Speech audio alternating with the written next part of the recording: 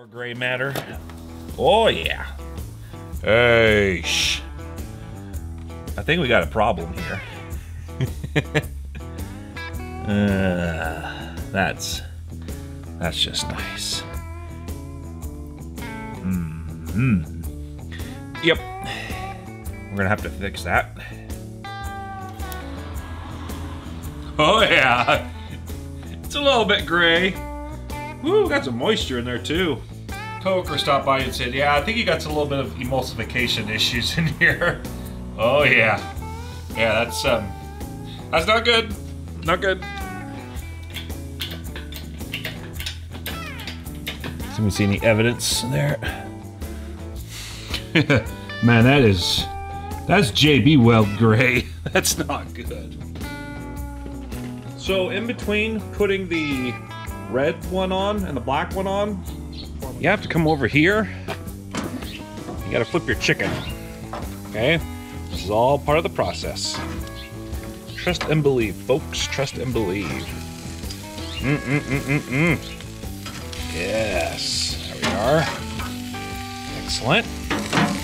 And then once that's back to cooking, then you can put the other O-ring in. Yes, this is part of the process. Oh, forgot to do this. Quick comparison. Here's the old gasket, and this is the new one. Think there was a problem? Number is around 97, so I need to use the newer gasket. Now, I'm I'm peeved right now at the dealership. This is what sometimes happen, and I'm human, and I should have known that gasket didn't fit. I, I should have known better. I should have paid much more attention to it. I'm I'll, I'll, I'll keep this in here, guys. I'll keep this honest for you. Um, I goofed up. Parts guy kind of goofed up. So there we go. There we go.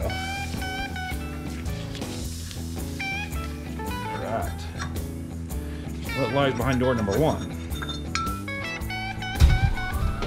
Hello, Mr. Poo Hey, I'm in my shop. I am in my shop, sir. Sir. I'm in my shop. Just minding my own business, making stupid YouTube videos that no one will ever watch. Okay? Everything's alright. Hello, everyone. You guys said you wanted more tractor content, and unfortunately, I do have more. Unfortunate for my uh, customer, not for you guys, but I did tell him we'll make some YouTube content out of it. John Deere 1050 here. Uh, this is a, I believe, 1987 model, uh, made in 87. He's got some big problems with this, or at least something really sinister has gone wrong with it. And it needs to be fixed right away. So, Old Yeller, you're gonna have to sit for a few more minutes. I just barely got him squeezed in here. Best case scenario, it's just a blown head gasket. Which I'm really hoping that's what it is. If it's not a blown head gasket, then hopefully maybe the cylinder head is simply cracked. I really hope that the liners, this is a wet sleeve liner diesel engine, I'm really hoping that that is not, um, the liners are not busted out because if so, that's a major overhaul. We can probably do an end frame on this thing, but that's a lot of messing about and and this customer needs it going for uh, chores that he does. I have so, seen some people hoeing and humming and thinking about what it all could be. It's like, you know what, guys? You just need to get in there, tear it down until you find the problem because the water's obviously gone somewhere, right? so that's what we're going to do. Let me show you what the oil looks like. kind of gooey. yeah, I don't think your oil is supposed to look like JB Weld. I'm just going to go out on a limb here. Um, yeah, that's not right. You can also see how far up it is on the dipstick. If I can do this without making too much of a mess. The level is right about here. Okay, and the full mark, I believe, somewhere down here. So, level's pretty much right there. And that's where it's supposed to be. So, customer gained about three or four inches of uh, oil. um, yeah, that's that's not right. So, here we go trying to figure out what happened here. I know this uh, customer had some minor overheating problems in the past with his tractor uh, last year. So I don't know if that was the uh, head gasket slowly letting go. Now it's completely let go. I, I'm hoping it's something stupid simple as a gasket. Oh, what uh, what tales will be told with this thing? What we find? but we shall soon see, my son. Yeah, this one's been on there a few thousand hours.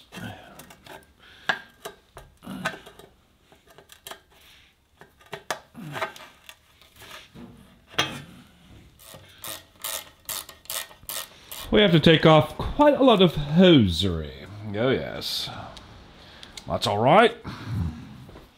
This is a pretty easy engine to work on. I just by taking a quick look at it. Fun fact, this is not a John Deere engine. It's technically Yanmar is who built these for John Deere for these subcompact tractors or compact tractors, whichever you want to define that by. Wow. Goodness, that one's been on there for quite some time. There we go. Well, that works too. Okay. Before we can take the airbox off, we have to take the oil supply line for the turbo off in order to get to the one of these bolts for the airbox. Thank you, John Deere. Love your work, guys. Could be a lot worse. Could be a PACCAR, which... those are just... Ugh. I cringe on anybody who has to work on those things. Nothing but problems with PACCARs at work. Trouble codes, derating, everything. It's just, it's like everything nowadays. They just don't seem very well built. Ooh. We even have green sludge, or we even have gray JB Weld sludge up in here. Oh, that's not good. Right, and the other side of that supply line is right here, which mm, need an extension for that. Please duck up. So, since this is a Yanmar, it's Japanese, so most of everything here is going to be metric. So just brace yourself.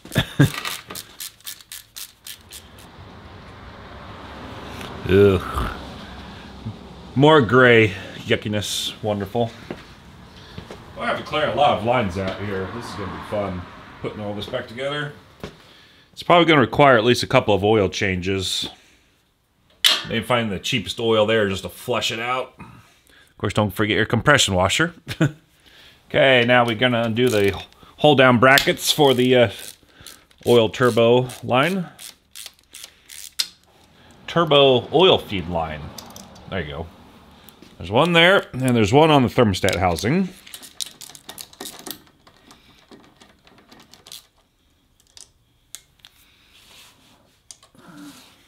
All right, now it's loose. Gotta figure out how it snakes out of here. All right, so the reason why I undid the turbo feed line is because the two bolts that hold up to the airbox kind of a little too tight. So you got to remove that so you can uh, take those off, which we'll do now.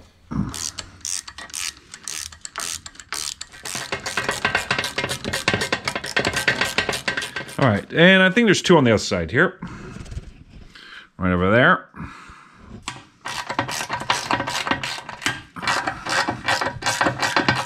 And we'll have two back here, if the light gets out of the way.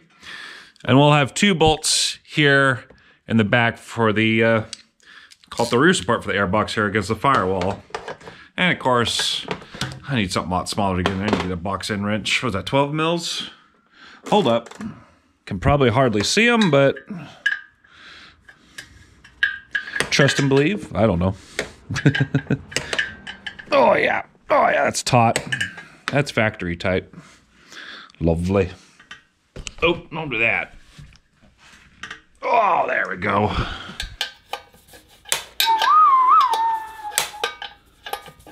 Yes, I'm listening to music in the background. It's all in me head. It's all in me head. Really? Freaking back it all the way out with an end wrench for real, for real. Perfect. Oh, vey. Need my magnet. I got it. I'm good. I'm good.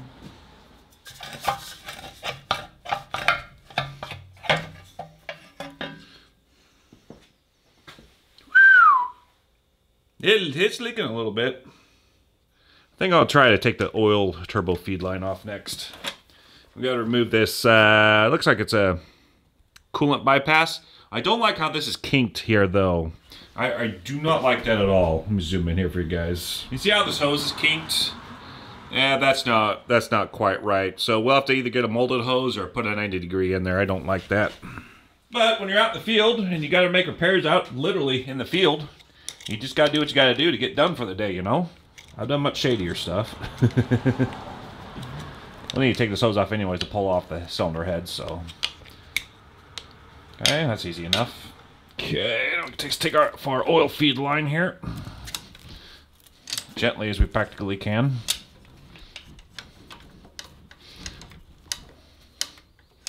Or maybe not. There we go. Okay. I've just elected to go ahead and remove the coolant overflow tank, expansion tank. Just gonna get in the way.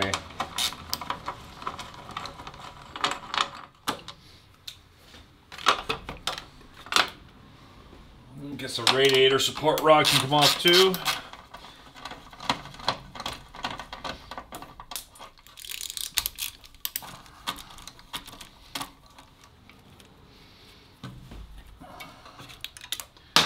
Really?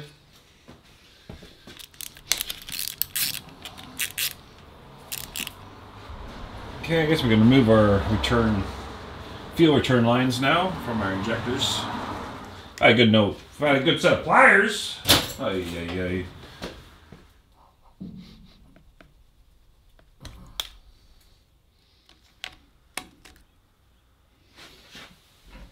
Let's go ahead and disconnect our fuel lines now.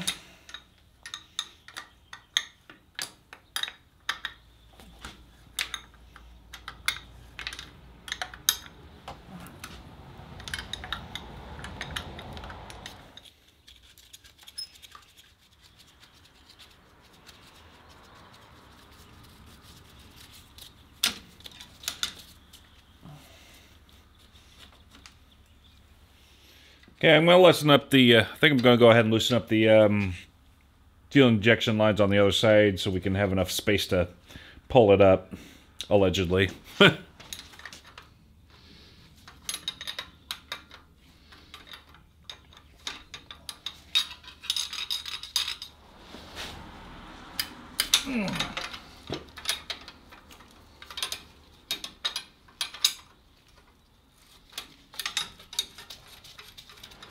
Unless we get lucky. Ah, we lucky. Hey, fantastic.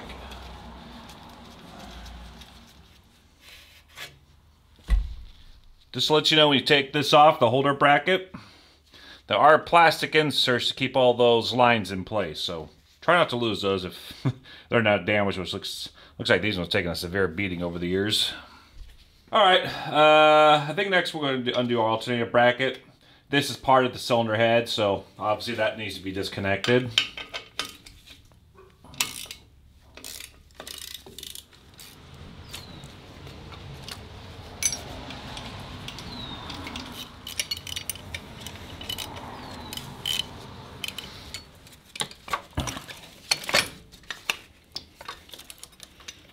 Okay. Go ahead and disconnect the water pump now. Well, I suppose I'm going to have it bolted up. Ooh. In which case, all we got to do is disconnect the radiator hoses. Either disconnect the radiator hoses or just pull the water pump off. Ooh, choices. Hold up. Ah, scrub it. We'll take the... I don't want to take the fan off and everything or try to avoid that, so... I'm going to try just pulling the pump off. Of course, I don't have a 10 millimeter socket. Got one 10 millimeter flare wrench to help me out here. It looks like it'll work. Ooh. Blue RTVs sealant. Hmm. Is that factory? I don't know.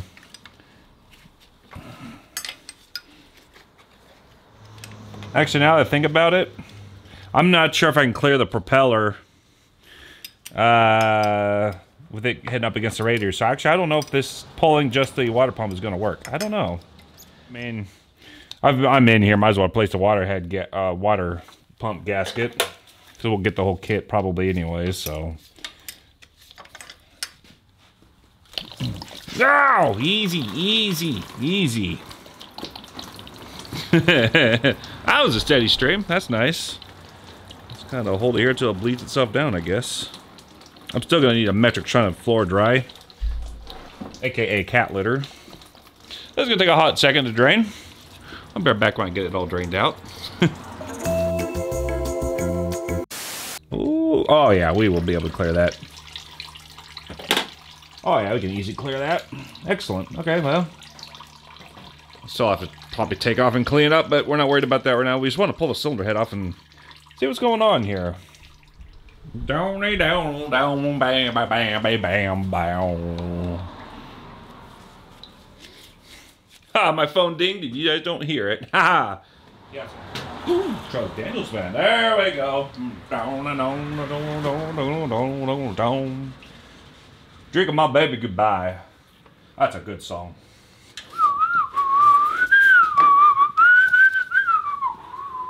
not gonna anyway. King said I didn't try. Come on. Come on. So with the other one, I'm drinking my baby goodbye. Simply when you're ready, sir. Thank you. Ooh. Ugh. Looks a bit on the brownish side. Hmm. Not a fan. Not a fan. Honestly, we're getting closer. Now it's the parting I'm dreading. Getting the exhaust manifold off. I'm 99% sure we're going to need fire for that. Let's show you guys. These bolts are so incredibly rusty and crusty and heat cycled so much. They are incredibly nasty. Now, in my suggestion, if it is possible, try to take the least amount of bolts off and try to keep it all intact as much as possible you know, don't go taking that off and taking that off because really, unless it's leaking, it's not necessary and you could break more bolts. So just try to disconnect the least amount possible from the engine block and keep this whole thing assembled as much as practicable. Obviously, if you're doing big trucks, things are heavy, so you just may have to, unless you got a hoist or a crane. But, um, so I'm going to try just taking off the exhaust manifold bolts. There's six of them, it looks like. And, uh, see what transpires. But I don't even know if I want to turn those without heat because those are just nasty looking. You can see that they're just, it's bad. it's really bad. They, uh, doesn't look good. So I'm just to try. Um, I assume it's a, it was a 12 millimeter, I'm pretty sure, once upon a time. Yep, it's a 12 mil. But Look like it could be 11 and a half millimeters now by how rotted out they are. So I'm gonna, oops. I'm gonna gently try, oh yeah. Yeah, no, no. Absolutely not. Just, I was a little hopeful, but yeah, no. I'm just gonna torch out. Absolutely, absolutely no reason to fight ourselves with that.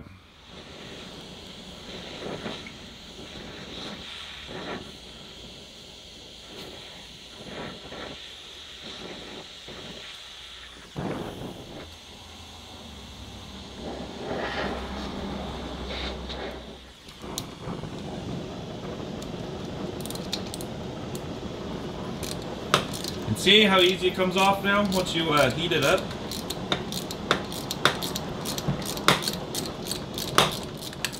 There we go.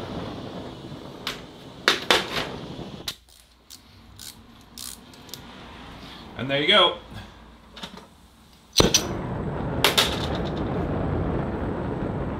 Easy. And again, you don't and you don't need a fancy torch like I have. A standard old butane torch would be just fine. Just get it glowing cherry, just get that nut glowing cherry red.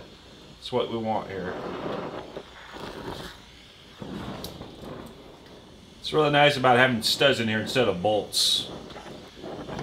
Problem's on the outside, not on the inside. There we go. See, it's nice and glowing red there. Like that. That's what you want. See how easy it just comes off? It literally is that easy. as long as you use heat. And I don't really feel like drilling and tapping. Look at that. Booyah. Dark of the moon on the 6th of June and Kenworth pulling logs. Cab over Pete with the reefer on and a Jimmy hauling hogs. His head for bear on I know about a mile out of shaky town. I said, pig pen, this is rubber duck. I'm about to put the hammer down. Mmm, tin four good buddies. All ahead head full on that.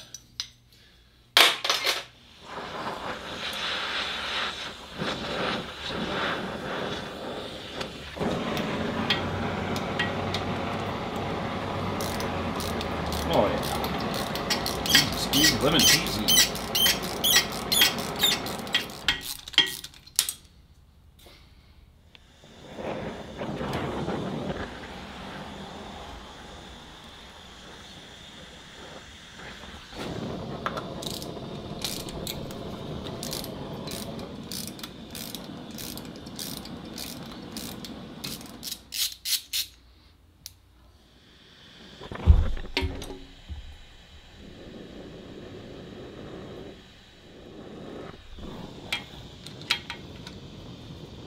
Oh yeah. That could be a bit of a toughie. Working right next to a fuel line's not ideal.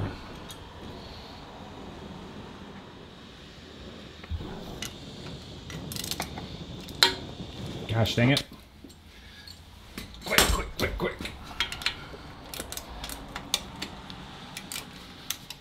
There we go.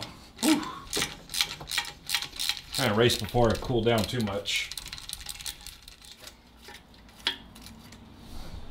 That's the last one now. It's resting on the stud, so nothing's gonna fall down, allegedly.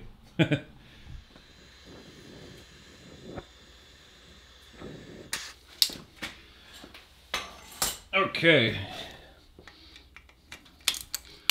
Easy squeezy lemon peasy, folks. We looked out these being studs and not bolts.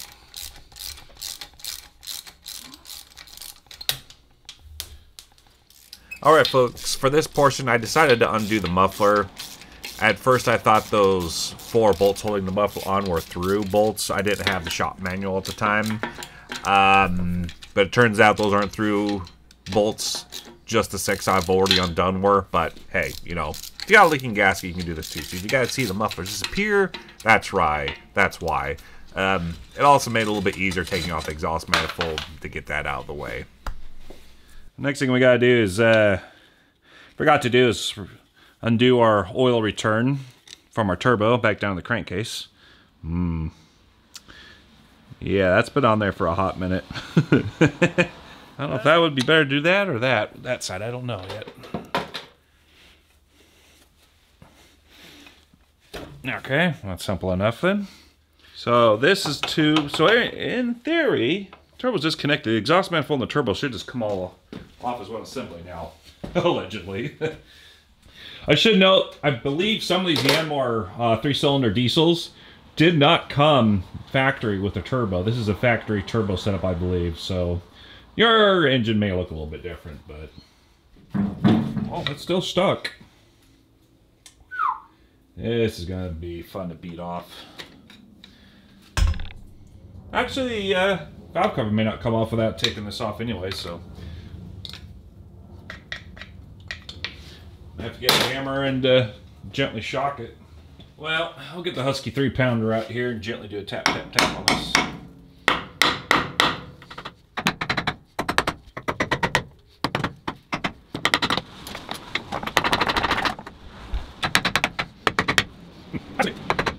Well then, are you really just stuck on there that much or am I missing a bolt?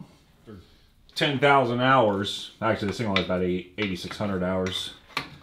Not surprised it's welded itself shut. Wouldn't be surprised. It's starting to wiggle.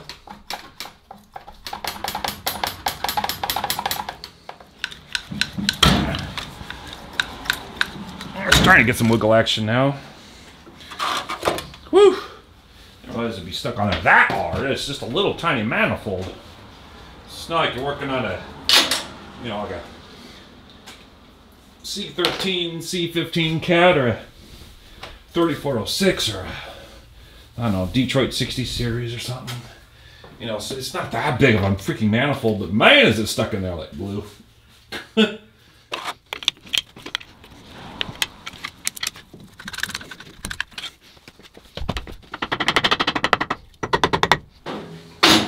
to heat. I see some of these studs are moving with the manifold. I'm gonna have to actually heat the cast iron manifold up, get to expand just enough for it to pop out. And see what's going on here. This one's stationary. I'm wiggling it. This one's stationary. This one's stationary. This one's this one's wiggling with a manifold, and this one's wiggling with the manifold. This one is stationary. So these two have somehow super glued themselves onto the manifold. I'm gonna have to heat that up. Don't want to get too close. I got fuel lines right here. I don't want to pop anything here.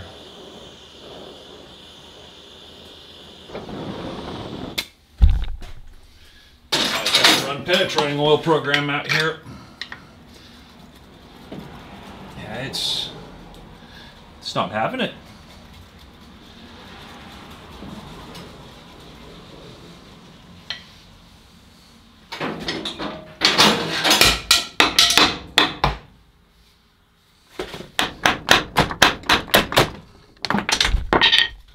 Wow. It just doesn't want to have any of it now, does it? Now I got to move a millimeter or two.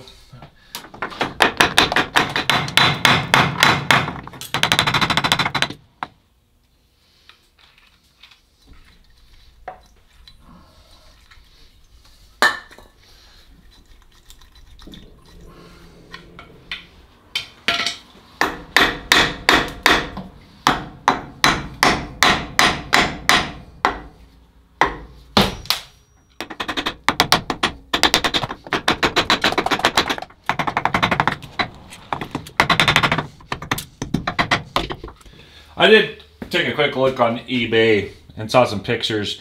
There's only six manifold bolts here, here, and here to take this whole thing off. It's actually kind of nice to get around the uh, muffler anyways. Um, this stud still wants to wiggle with the manifold. It looks like it's the stud's been out a little bit, so I'm going to put a uh, one of the nuts back on it and just slightly pound on it and see if I can't tweak it and pull it away from the manifold a little bit. Maybe that'll break it loose. I'm not sure. There's only six bolts, and I've already un I've already taken off the nut, so it's it's just stuck on there. That moved it a little bit. Now will this move at all? That's the same results. Well, gosh dang it all. It's a good idea. I'm just gonna have to wiggle this for a while until it decides to wanna pull a Freddie Mercury and break free.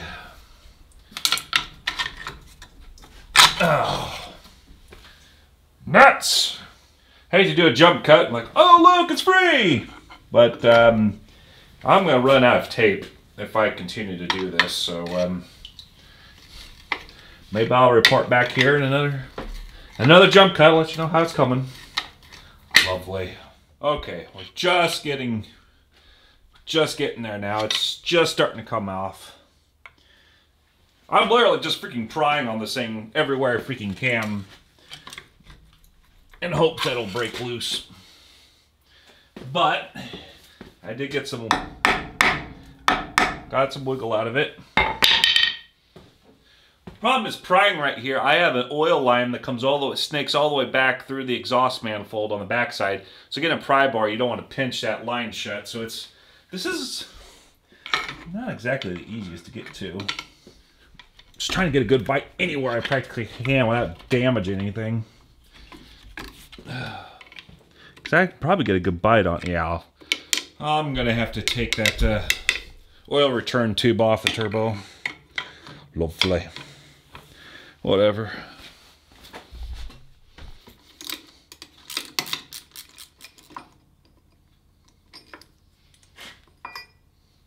Yep. Uh.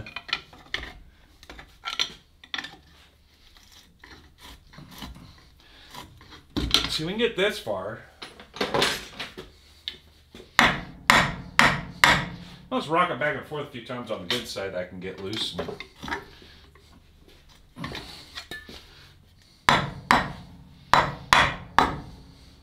That stud right there is completely frozen in that freaking manifold. It does not want to break loose and or break free. And get this hose out of here. Okay. Ah. Now what in the flip was that? Oh, it's my quarter inch wrench. Whew. This one I actually need some heat. Thinking this one might actually need some heat. How much is going to catch on fire? Oh yeah. Oh yeah, we're going to be burning the old PB blaster up here for a second or two. Okay, so I'm just going to heat it up. Whoa! Hello! I'll try to catch the grease on fire there, dude. Okay. Let me turn this down here. Turn it down. It's a little too much go-go juice on the old. Hello! Ah! Hoorah!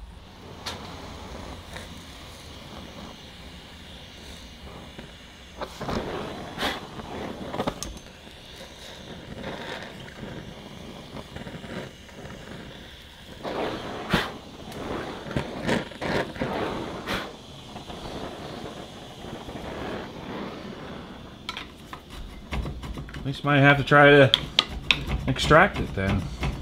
Really don't want to, but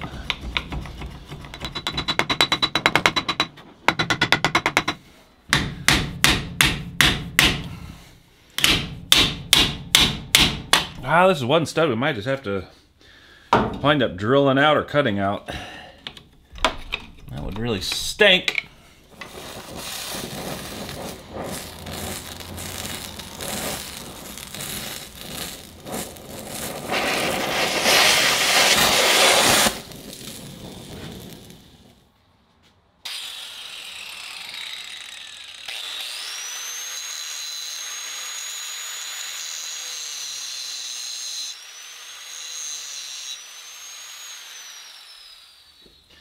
We're going to do a center hole punch to drill.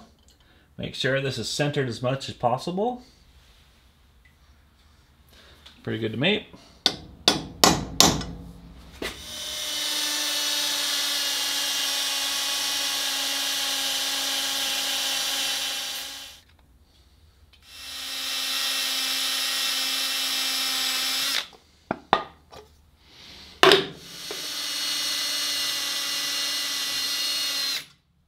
Oops.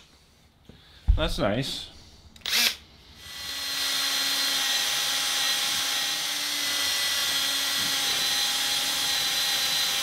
How far in are we? About half? One third?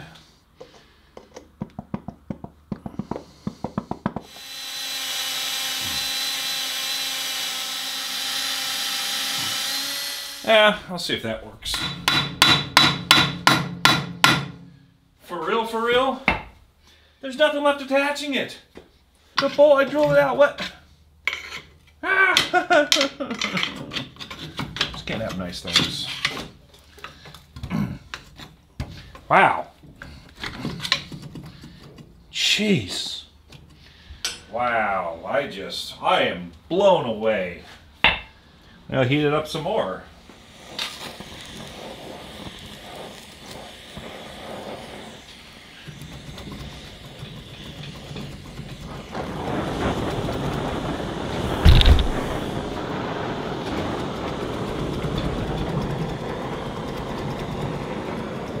That's starting to come out.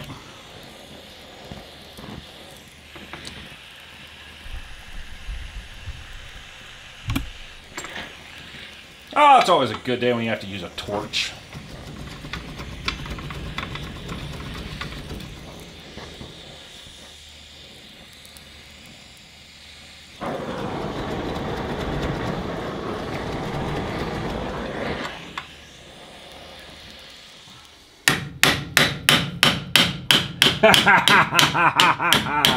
Finally got back behind it. Holy guacamole, Batman. Yeah. Yeah. Enter baby. Yeah, I mean. Yes. God.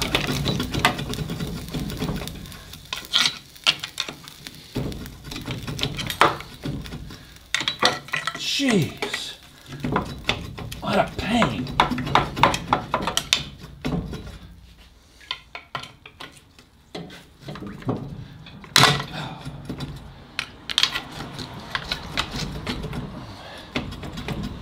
God. Wow.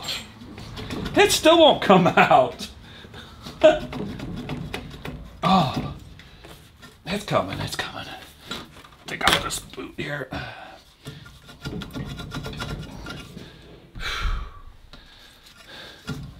Whew, a little warm. Oh, come on. Oh, oh, whoo! Wow, that was stupid. See, it's only the six bolts. I had it right the first time. Holy cow! It's that bugger right there. I'll zoom in on a second. Ah! That's a trouble stud right there. Wow. You can see where also halt the uh, you can see where the drill bit got into that far. I'll also have to get a new one for that, that's fine. But wow. What a pain. that's it's time for me to go get some lunch now. I'm I gotta wet walk away from this for a minute. Catch my breath. Wow. But as you can see, we're getting closer to popping the cylinder head off. We're getting pretty gosh darn close now. All right, we'll be right back when I've got some lunch. Go ahead and take our oil feed lines off as well. Decreasing a little bit. So we don't get any oil and gum up at the works here.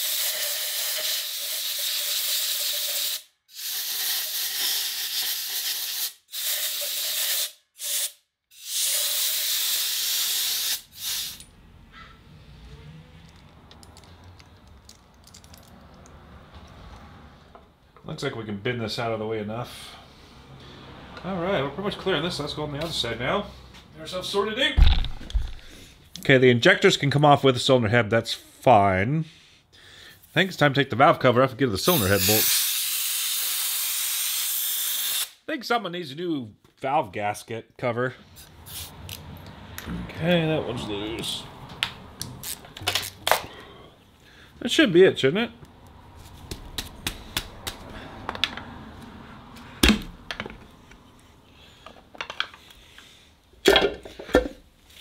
Now, what is a valve train look like?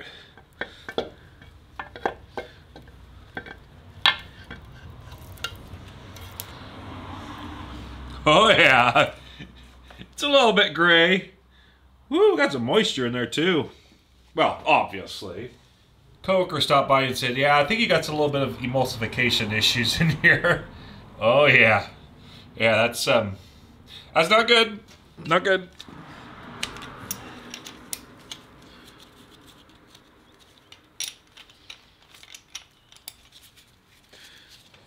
Valves are valve adjusters loose. Think it's time to undo some cylinder head bolts, methinks. 22 mils. Well, I can't get to this back one. So apparently, I need to undo my rocker arms. Next. Okay, well, whatever. That's fine. This is fine. Everything is fine. Of course, we can probably take them all out because all of them are going to need cleaned up from this flipping oil contamination. So, okay, fine, whatever.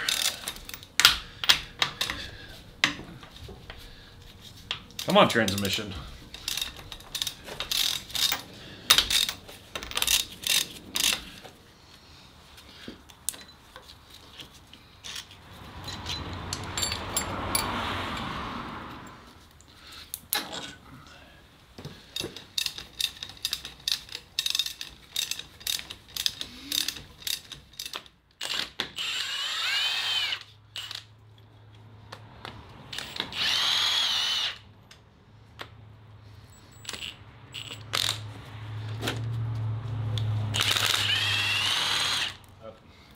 I'm gonna see if this pop it loose at the very least. Let's hopefully this pops loose better than the freaking exhaust manifold. oh yeah. We got some wiggle.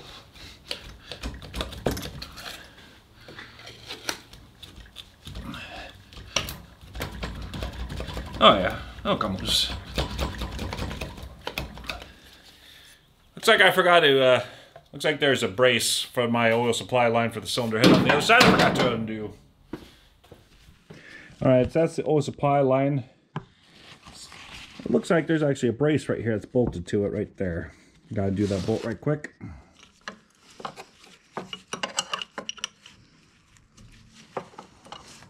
Okay. Now we're loose. Oh, yeah, yeah. What a time to be alive.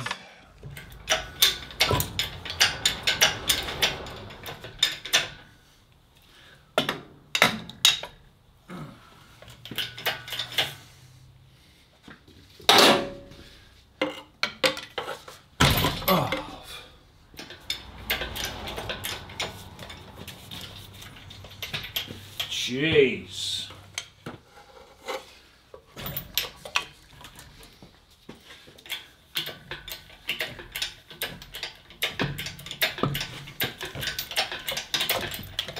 All right.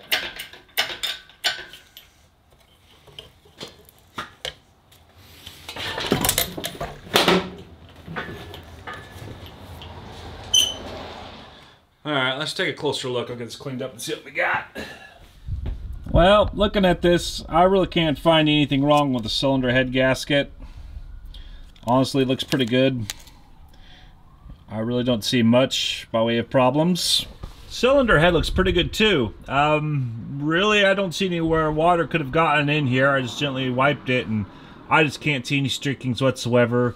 It may have a crack on the inside of the valve seat. You have to take the valves out to find out. I might do that. But honestly, initial inspections, it's the uh, cylinder head doesn't look all that bad. Looking at the cylinders, also they don't look bad either. Either. It even has the crosshatches still. Now the only difference I can find is we gotta rotate that one. That one looks good.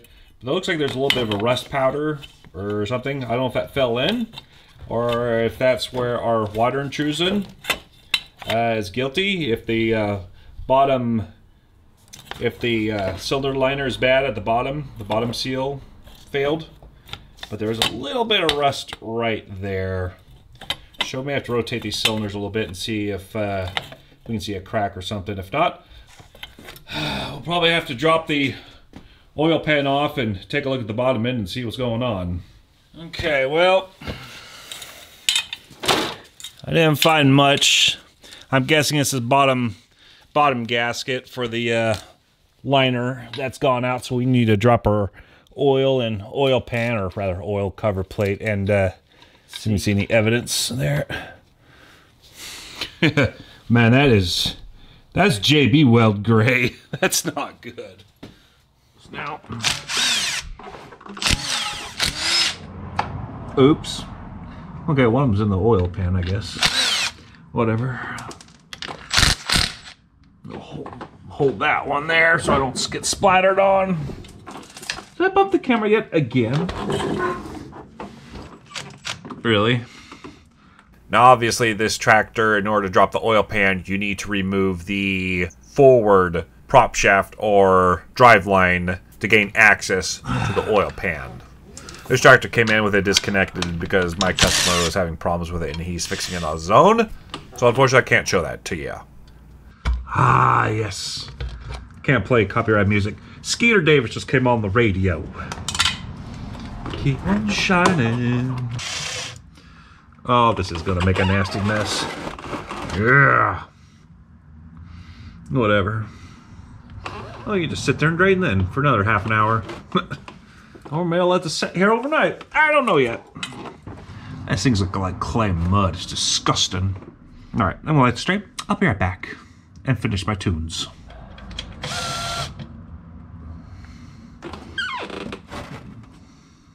Ah! Gosh dang it.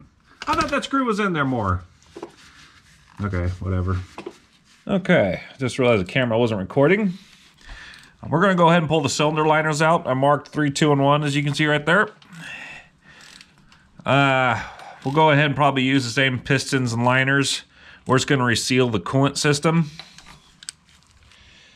Because honestly, this tractor runs pretty good. Doesn't smoke at all. Um, starts up very easily in the cold in the winter time. I can still see cross hatches in the liners themselves. So we're not going to waste money in doing a full rebuild. Obviously, if you're in this far, if you got engine problems, may not be a bad idea. But for, I mean, the sake of longevity, this thing's still got thousands of hours probably left in it. So let's go ahead and uh, drop our connecting rods and pop these pistons out.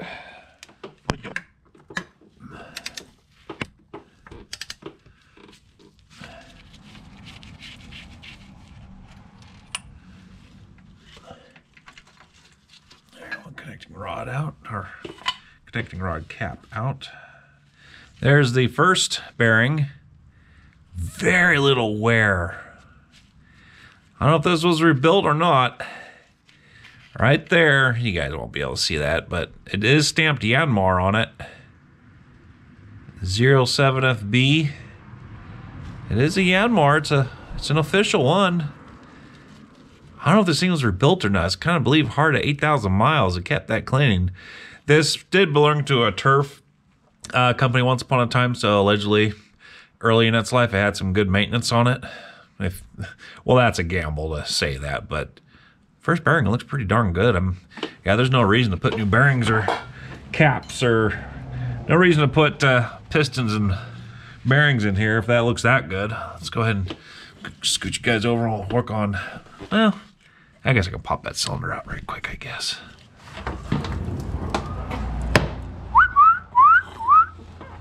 Popo on patrol. Oh, quit beeping me, people.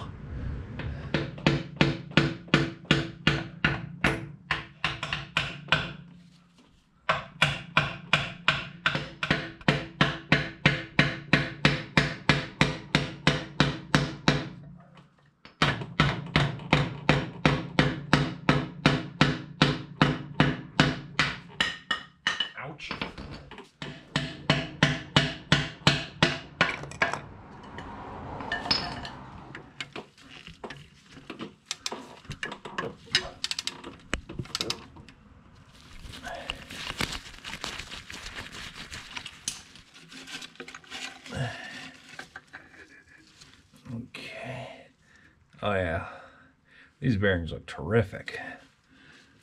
Really liking them. Really liking what I see.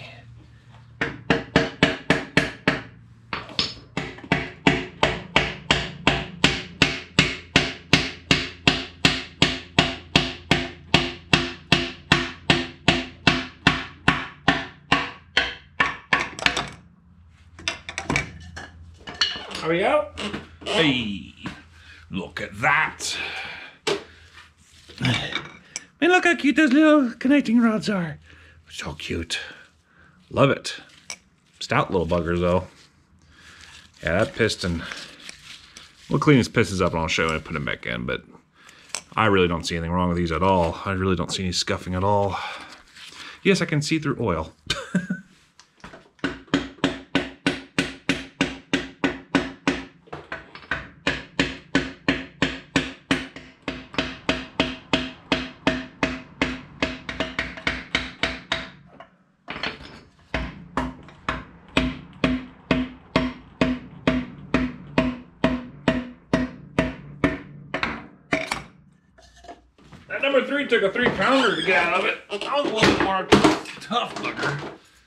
See anything immediately catastrophic here. Excellent. I like it. Pull the cylinder liners out. I got one of these stupid, cheap Chinesium, just this just might work for $60 kit. Um, nothing terribly special about it. Uh, we're going to see if it works. It should. I've been told, uh, reading on the internet, people have had good luck, at least with the small engines, Yanmars, of using this kit to pull them out. So that's what we're going to do. So we take this guy here. I believe it's a 90 millimeter. and that would be the upper ledge. These these ledges come in two different flavors. You got uh, two different sizes of millimeters. This one is stamped 95 or 85 to 90. So one of the ledges is 80, and the other ledge is the other size right there. Um, so you got basically got two flavors. It looks like this would work. I'm using the slightly larger one, so this would be the 90 millimeter. This does have a flex head on it. You can swap out sizes, of course. Okay, so it comes with a bearing. You'll see here in a second. Everybody lubes them up. I will do the same. I'm just using whatever oil that was in a nice little nozzle here. Just lube the races up. This is a very, very cheap bearing. If you're using anything, any using this on any big engine, um, this probably won't work. I guess worst case scenario, if we ruin this thing, because it smushes so easily, maybe we'll just stack some washers and grease the washers up and use that. I, I don't know. So now with that bearing being greased, go ahead and set up our puller now. Okay, so I do have one stud here. I Might actually try doing this like this possibly.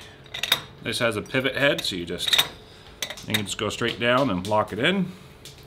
If you're building your own, you could just run a string down there so you can everything do everything from the top side without worrying about getting that puller over the crankshaft.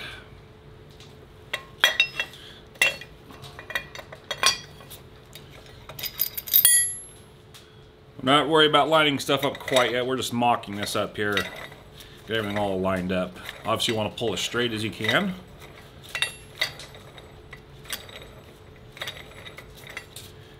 Okay. Okay, that's fairly fairly tight enough. Nothing's going to fall apart allegedly. now, obviously, when you're pulling, you want to make sure, obviously, your standoffs are clear of your liner that will be coming out. And now we're just going to try to make everything nice and square as possible in the bore. So it has a direct pull straight up. Make sure this thing isn't leaning, twisted in any way. Sounds good on paper. Looks pretty good to me. This thing does come with a couple of handles here.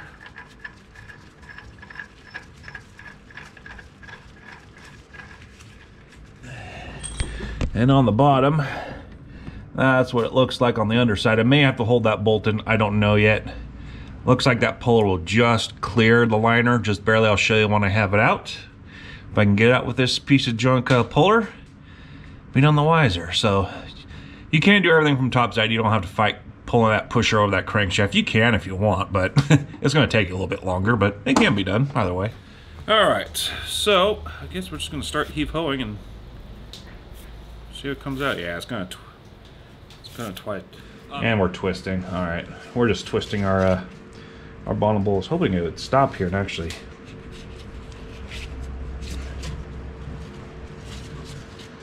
No, I think I got to hold it from the bottom end. Wonder if I can get away with just doing this here. Keep it still.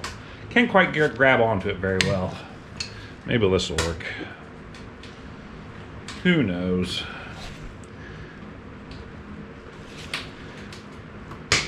Oh, wow.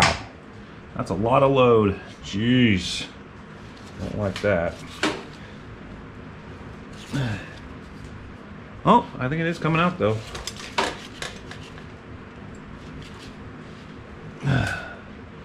Be much nicer if these were fine threads instead of coarse threads. A lot easier to torque down, but mm. yeah, it's coming out.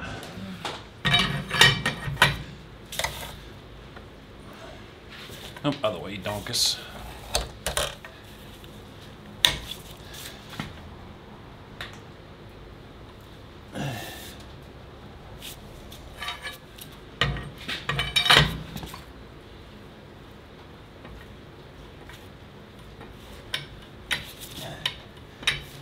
There. Finally breaking loose now. Good, I'll have to get an expensive socket to hold the bottom end. Whew. Folks, you're gonna have to have your Wheaties though. and there we are. Liner, technically this is liner number two, but the first liner I've pulled out. All right. We are loose, folks. We are loose. Figure that's been in there since 1980. What is this thing? An 87? 83? I can't remember. So, uh, yeah, it's. Uh, if it, these are original heat cycles and everything, yeah, they're to be in there for a little. They're to be might be a little bit on the taut side. Okay, let's pull our puller out here. hopefully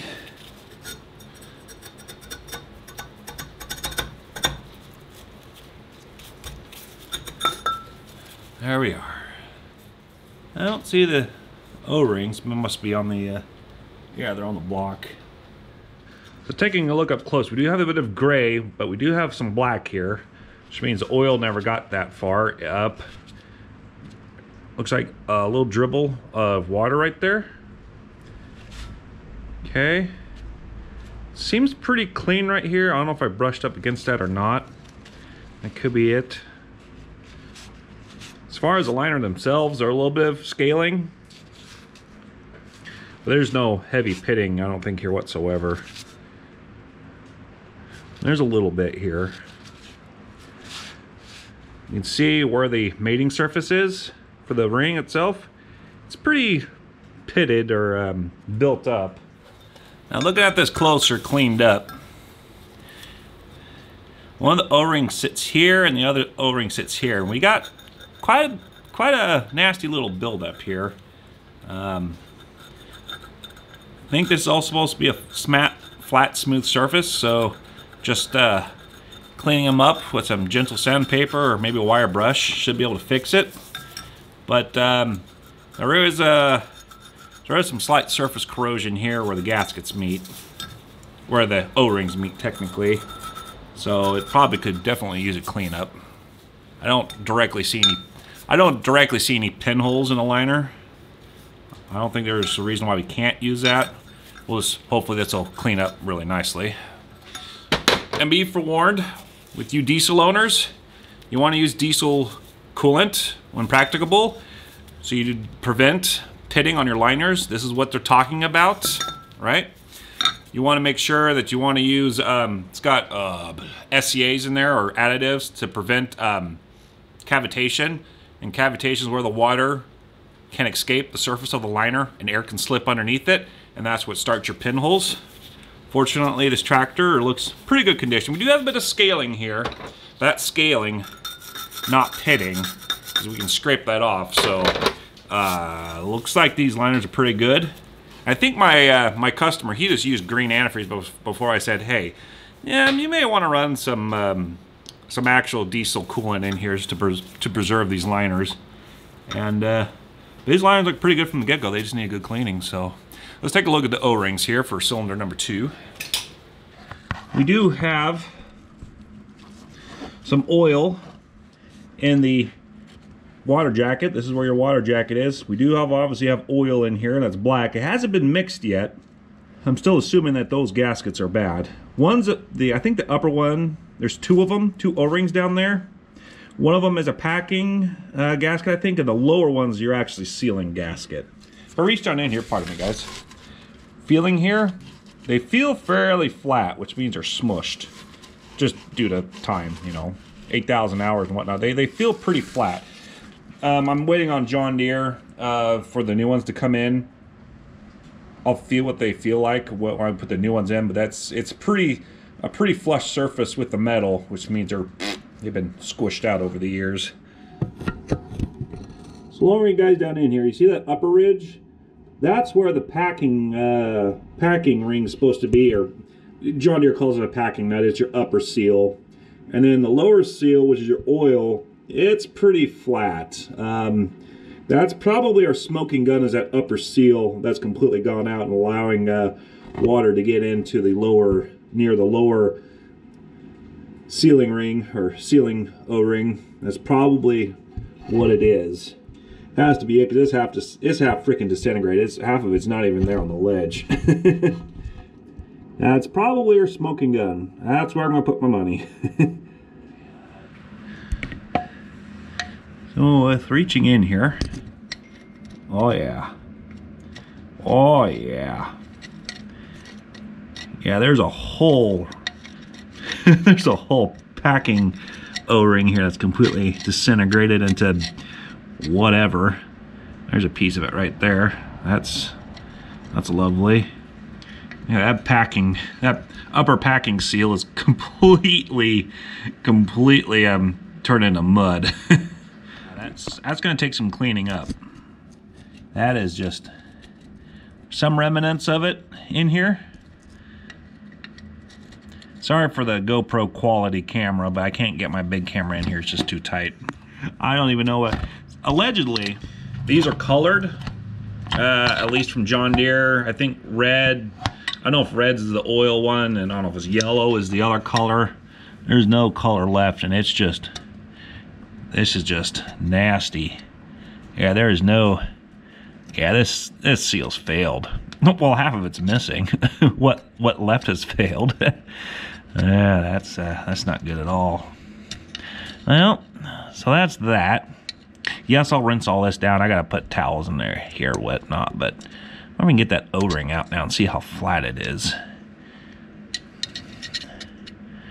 I don't know if we'll be able to have you guys in here or not while I do this. This is very, very close quarters having you guys in here. But let's see here. Let's gouge this in and see if we can pull it out. There we go.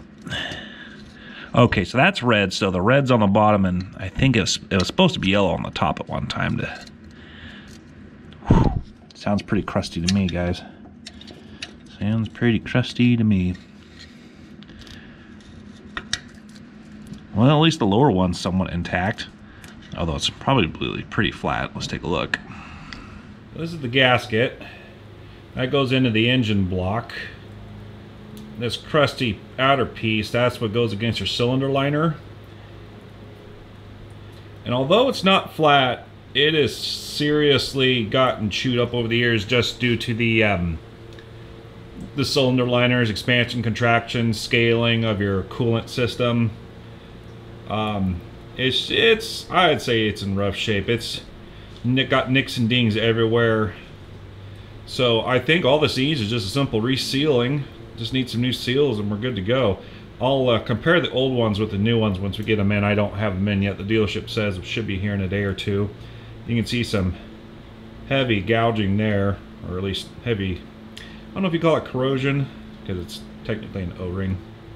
But uh, definitely disintegrated. We can use that word. Definitely disintegrated. Um, I'd show you the packing uh, packing one, but as you can see this is coming out in pieces. So this is the actual, what seals the oil off and um, you know, got some pretty deep gouges in there. So definitely, definitely looking pretty pitiful. It, that's a very poor seal that that would happen. All right, well, let's uh, so we'll go ahead and pull the other two liners out now and see what those look like. Now that we've got one liner out, how this works is, this is the top side. You simply push, or rather lower this in here and that's how it pulls it. Obviously you want to make sure you're right on the shoulder, just enough clearance that when the puller comes up it'll clear the block, but enough meat on here that you're going to grab your liner and not, uh, you know, uh, break it in any way. You can make your own. You just got to know the circumference of the liner itself. But that's basically how it works. And you just pull it out of the block. So that's basically how that works. Okay, right about there should be good. Get our handy dandy standoffs.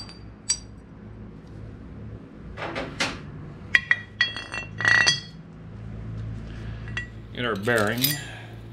Bearing's holding together for now. Obviously this is a smaller engine. If you go anything bigger, then eh, I think probably won't take it. I, I put a lot of force on that bad boy.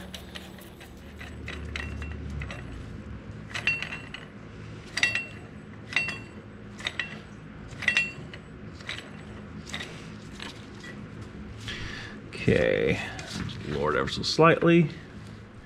Make sure the uh, puller is actually aligned. It's not uh, binding up. It's right center. Center's wherever going to be with this cheap junk, but so far it's actually working. Kick this back in. You see how that's not right? There you go. Make sure everything's nice and square. Take your time, especially if you're reusing your liners. You don't want to muck it up.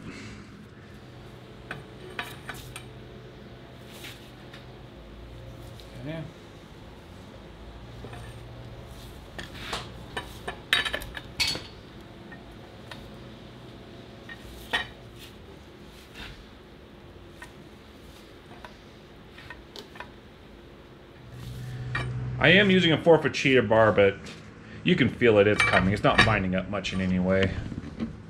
Those T-handles are just a little too hard to hold on to. Yep, it's definitely starting to protrude. Good. I'm finding um, this vice grip holds it pretty easily. I'm not putting too much effort into it. I'm just holding it just enough to keep it from spinning.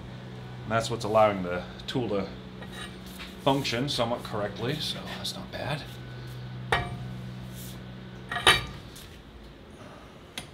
Putting this back in is going to be a lot of fun, I'm not going to lie.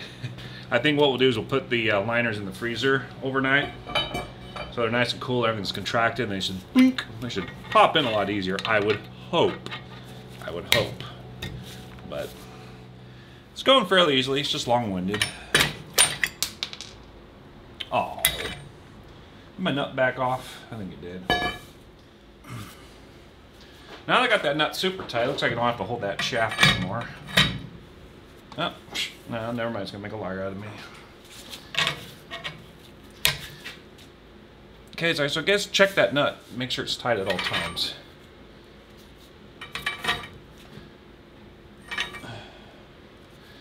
And, yeah, see here, this is the tricky bit. This engine's small enough, but just big enough that these liners are... It's really hard to do this by hand, but I guess it might work.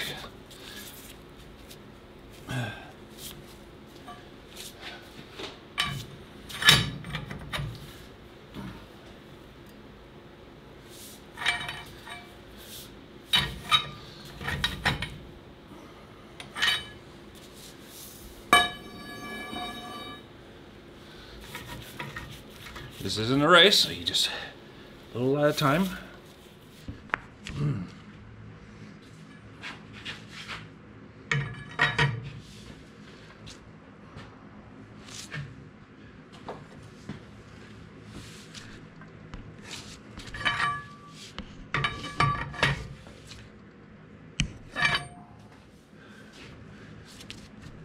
There we go. There we go.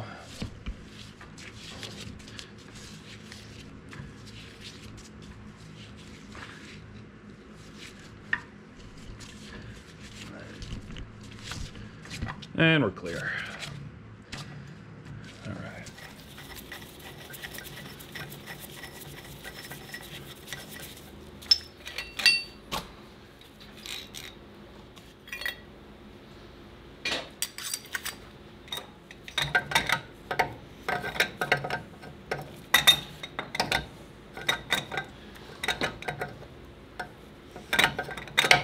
Come on. There we go. Okay. No, what the? All right. What lies behind door number one? Yeah. Don't look too terribly bad. Well, this thing's ever been rebuilt. I don't know. I can't tell. I'm not good at that for these diesels. Let's take a look at those rings right quick. Cylinder number one, same story. Lower you guys down in here. Don't worry, the we're OSHA approved. We're all strapped in. We got our harnesses on. I have not touched this whatsoever. As you can see, we got a huge ledge that's missing its ring. You can see where it's uh, somewhat intact. If we scroll over to here, you can see what a huge gap is. Plus, you notice those, notice those water droplets on the bottom. Definitely, definitely this is the mixing point where oil is starting to mix in with water for sure. I'm convinced of it. So you see where the packing ring is quasi intact? And then right here, I have not touched this since you guys have been down here. There is literally a ledge right here. The whole thing is completely gone. Yowzers. Obviously, this is the coolant jacket. Oil's not supposed to be right there, but it's black. It's well, you can tell it's it's starting to mix a little bit. But this is basically where the mixing action is. You also notice that the, there's water puddles right here, here, here, and here. This is definitely where the water was starting to interact with the oil. Again, we have our lower red oil seal ring. This definitely packing ring is definitely poo-pooed. I don't know what the heck this material is made out of.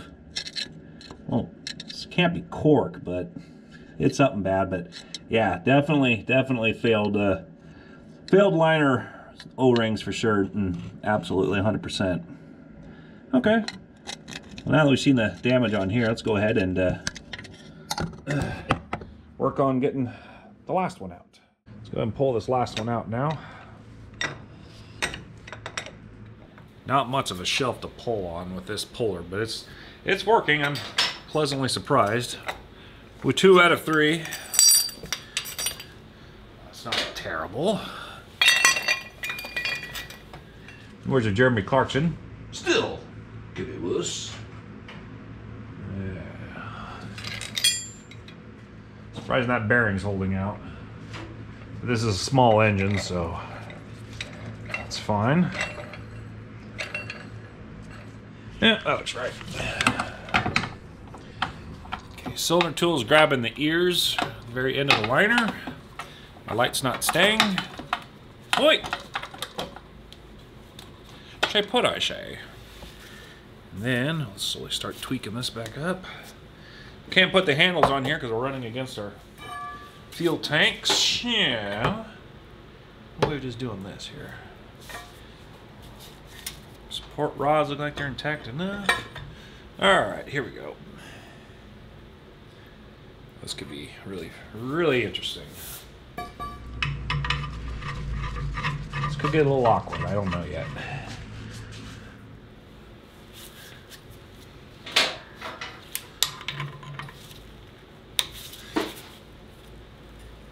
Oh yeah.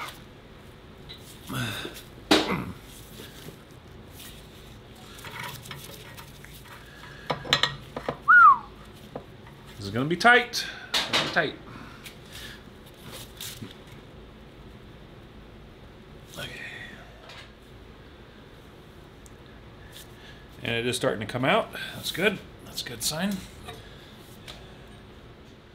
Taking that off and putting this handle back on. Just showing you guys, yeah, oh yeah, you can do it. It's just gonna take you a while.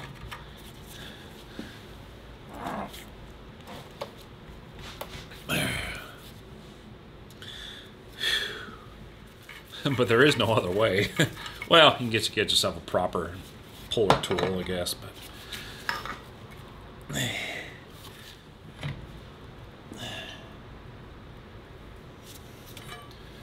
Okay.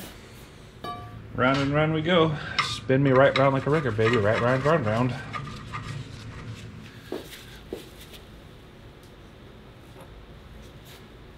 Oh.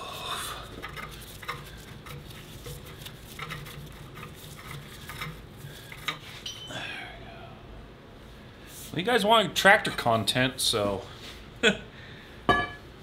Albeit to the dismay of my customer here, he's really waiting on this thing. He's chomping out the bits, even paid in advance. Like, here, here's here's money. Go to the dealership then. Whatever it takes. I'm like, well, okay. so he is willing. He is in very, very much need of this tractor running ASAP. So, like, all right, I can fix you up then. Get all sorted out.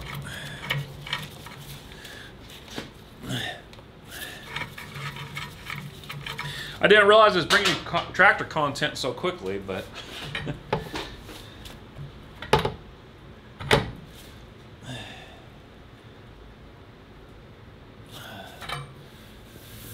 Glad I can.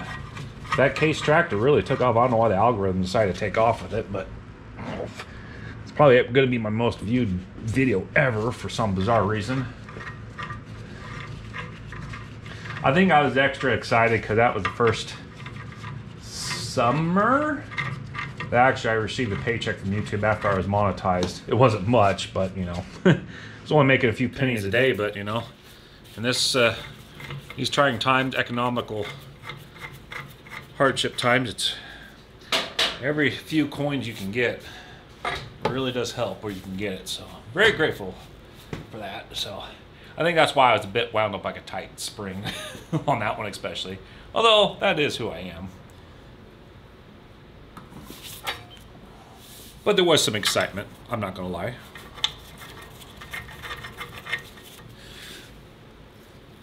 All right, all right, I think we got it loose enough here. It looked like that middle one was the hardest one to pull out. Interesting. Oh, oh, there we go. Oh, uh-oh. We good? We're Still good? We're still good? Or did the nut fall off again? It shouldn't have. Yeah, that's. What's going on here? Oh, no, it's just coming out. Okay, whatever. I broke something there for a second. Oh, now it's loading back up. Come on. There we go. All right. Okay, well, that wasn't too terribly painful then.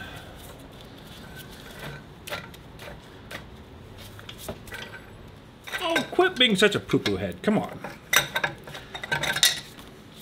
I'm dropping everything down there. Here, let's do something different. Let's just pull the liner out first. you donkus.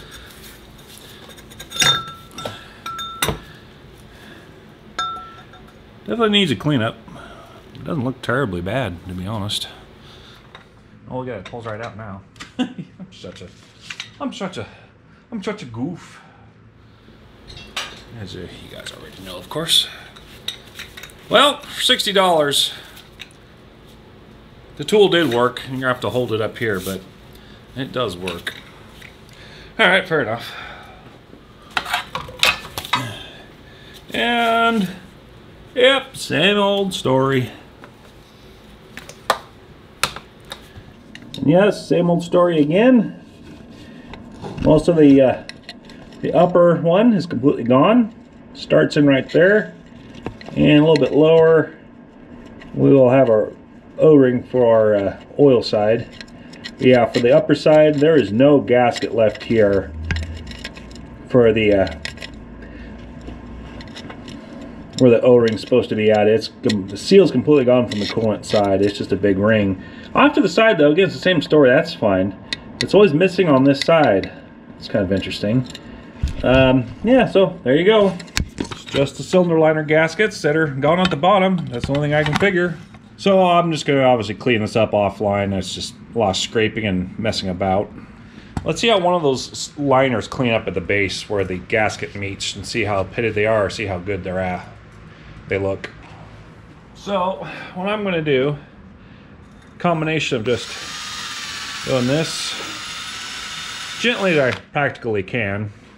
And then probably get some my uh, gasket scraper. You can hear that crunch. I'm just gonna combination of this and the wire wheel, and should clean up pretty nicely. It feels like everything up here it's not pitted. It's actually raised, which is a good thing. So this is gonna be very boring. So I'm gonna put on some copyrighted tunes and do a little bit, play a little bit of the old school honky tonks. Mm-hmm. And uh, I'll report back when I get this all cleaned up and get the engine block cleaned up as well. And we'll be right back with the results. Then hopefully by that time the freaking dealership calls me up and says, yeah, your parts are in. But uh, dealerships, I just, we'll see. Let me do a cleanup, guys. I'll catch you on the flip side. Be right back. Remember when I pulled the uh, cylinder head studs out? And uh, some of them the whole stud came out of the block. Not a big deal. It just i mean this was just on a little bit more tight a little bit more glued to the stud than the um, stud was glued to the cylinder head. But we can fix that. Just by putting it into the vise alone you're probably not going to be able to break it loose. You're going to need a little bit of fire or if you guys guys got the electronic inductive loop you know get in there and get it hot as well I got fire here. That'll work just fine. We're not going to glow this up to be cherry red, right? We just need it just, you know, several hundred degrees, just hot enough to expand those out just enough so we can back it off. And honestly, it won't take much heat.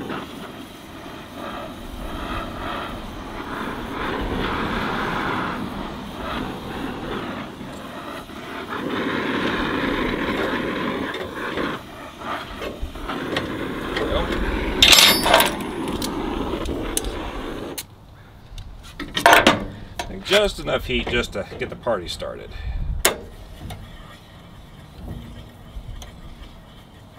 It shouldn't ruin them, I wouldn't think. Like I said, just don't glow them cherry red. Just get to several hundred degrees, you know, three, four hundred degrees enough. That should be able to just walk them right off.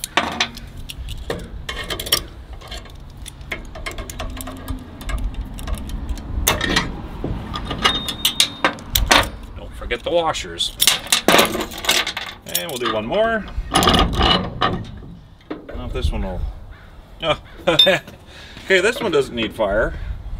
Okay, well, your mileage may vary. Alright, well, you guys get the general idea. Oh, oh no, we are loading up again, eh? Okay, fair enough. We will need some fire.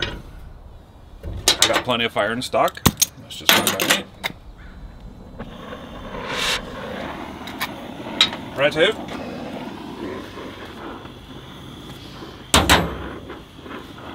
Making a liar out of me. I am very displeased.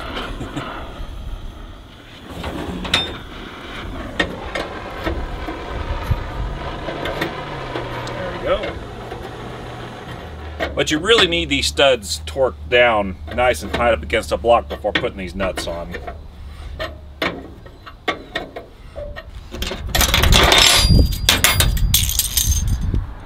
Oopsies. Ouch! That's warm. Perfect. Yes, I know I am. Oh, yeah. Alright. There you go. Simple as pie. Ooh, I can use some pie right now. Okay, installing the liner O-rings first. You will have one red one and one black one. Now, in the original printed manual, this is supposed to be gray. I don't know what happened. We had to change colors. This one goes on the bottom. This is your, basically seals off your oil. And this is the upper one, which more or less basically seals off your coolant passage. I should, I should say, when all practical with mission critical stuff like this, buy OEM parts only. Don't go with the cheap stuff. The set of these for this engine costs like $16 for the O-rings. Um, it's not that expensive. Nothing fits like OEM. You want to put these in dry.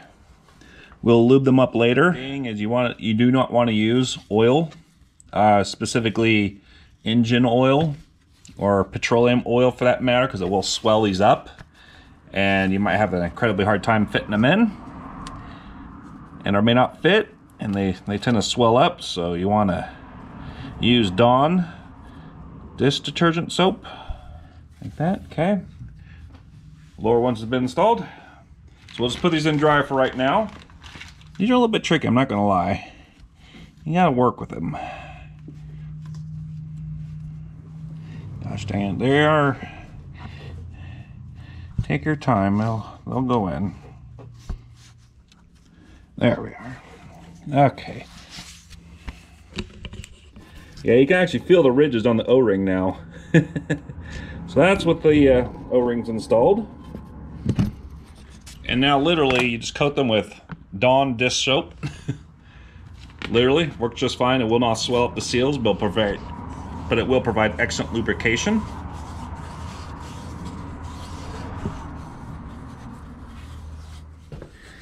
I don't know if this is completely necessary or not. The book didn't say anything you had to do it, but I did put the liners in the freezer.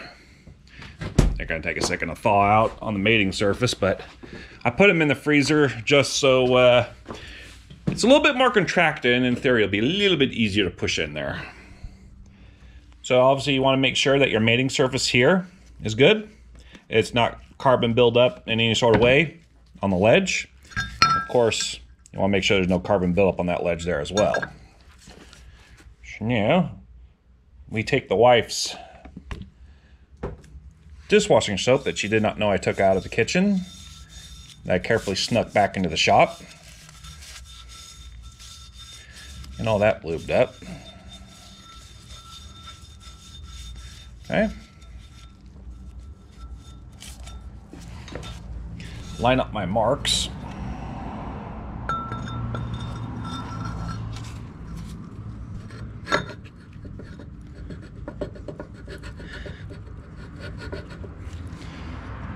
Hopefully should go down without too much fuss.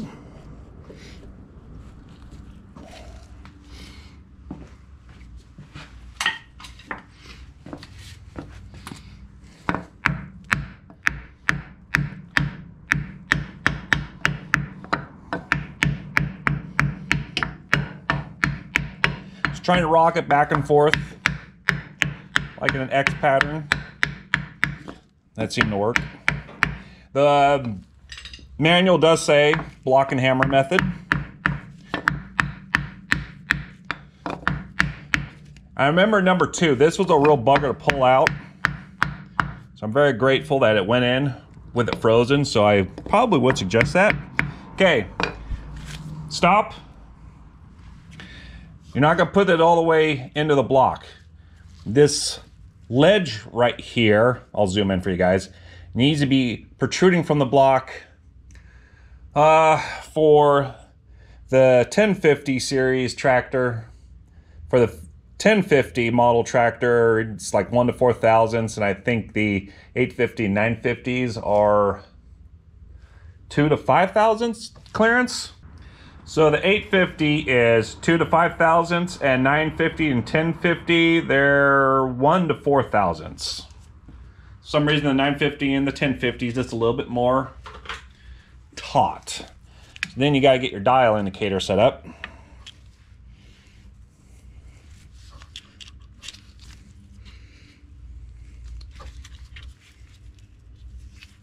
So we're still over like 20 thousandths, which I can see it's protruding from the block, so. Scotia back down a little bit more.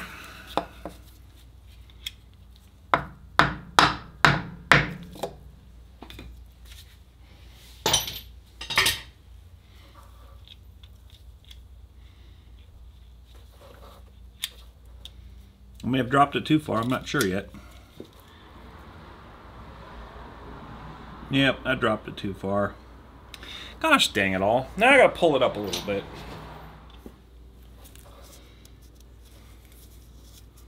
Okay, that's protruding. Okay. So this is gonna take a lot of fussing and finessing.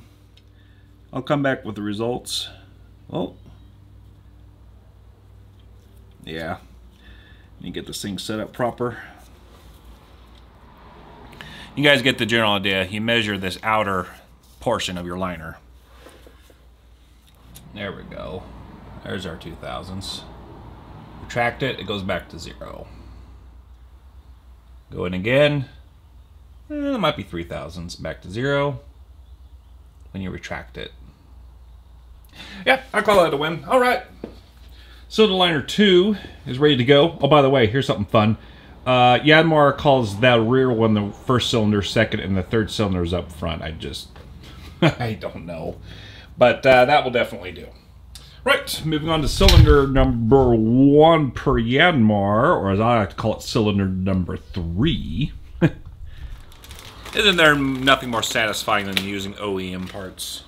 Mm. Absolutely, darlings.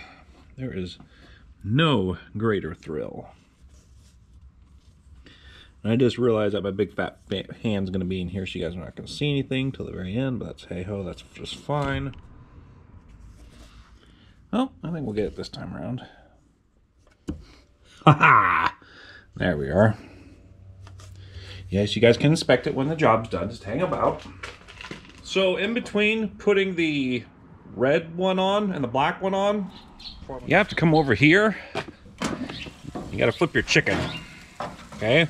This is all part of the process. Trust and believe, folks. Trust and believe. Mm-mm-mm-mm-mm. Yes. There we are. Excellent. And then once that's back to cooking, then you can put the other O-ring in. Yes, this is part of the process.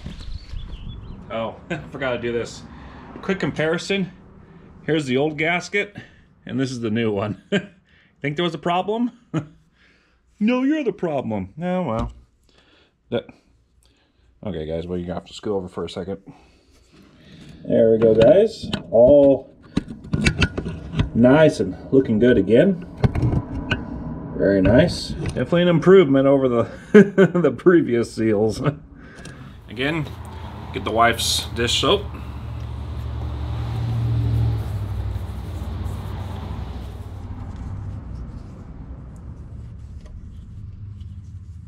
Okay, got the Earl on here. Line up our marks.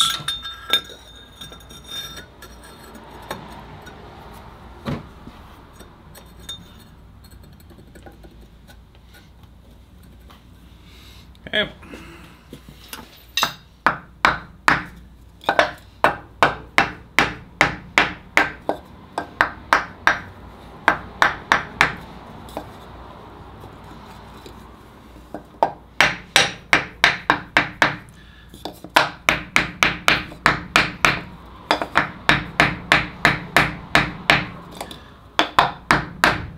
See how easy that's going in?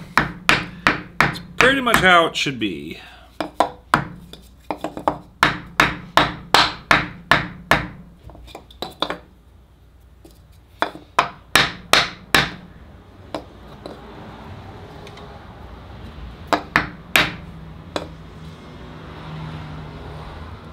Woo, that wasn't too much. Measuring thousands of an inch is so finicky. No, no. Went in a little too much. Gosh darn it all. Oh well, we can remedy that. I guess that's the problem with freezing these liners. At least on this tractor. They go in a little too easy.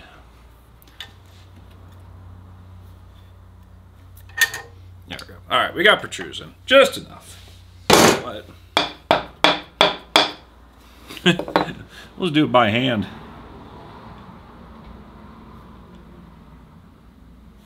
Zero.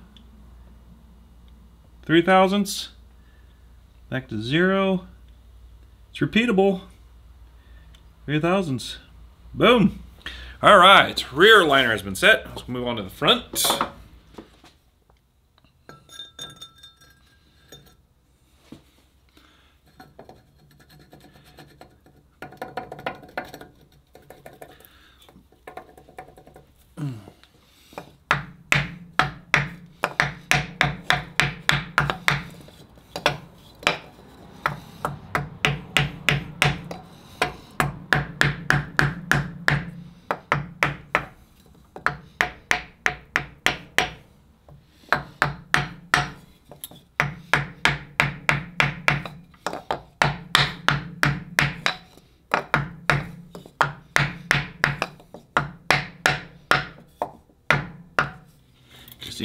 Bit of housekeeping right around here.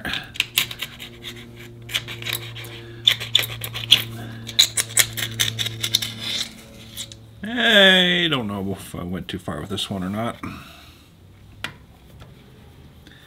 Yeah, I may have sunken in a bit too far. Dang it. It's got a little too carried away. Yeah, I'll pull it out a little bit. Yeah, just about two thousandths. Okay, That's good enough for me. Contrary to what I usually would do in this situation, I'm not going to even bother to remove the rings. Because I want this thing put back together because I've got a little yellow pickup that needs to be worked on ASAP. So all we're just going to do is give a nice spritzy sport spritz cleanup here.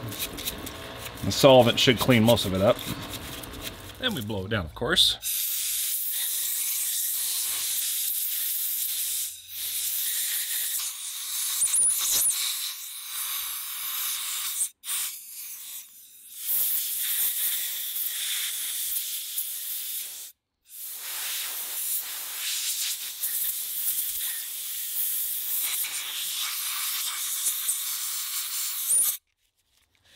Simply dunk your piston into some yummy engine oil.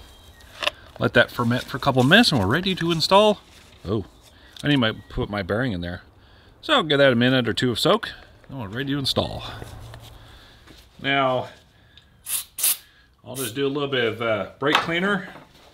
It's gonna clean out the liner a little bit. Yes, technically this will dry it out, but they've been moved around in the shop enough. I want a nice clean bore, so oil's getting dropped right back in it so we can brake clean it up right quick. Get all nice and tighty. Oh yes.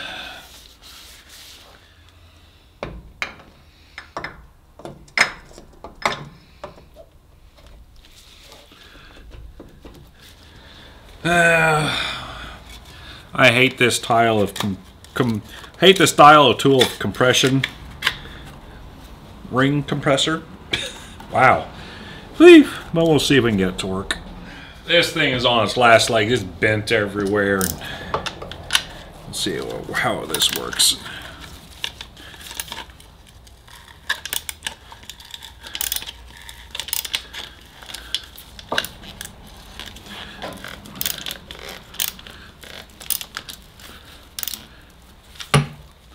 of wood.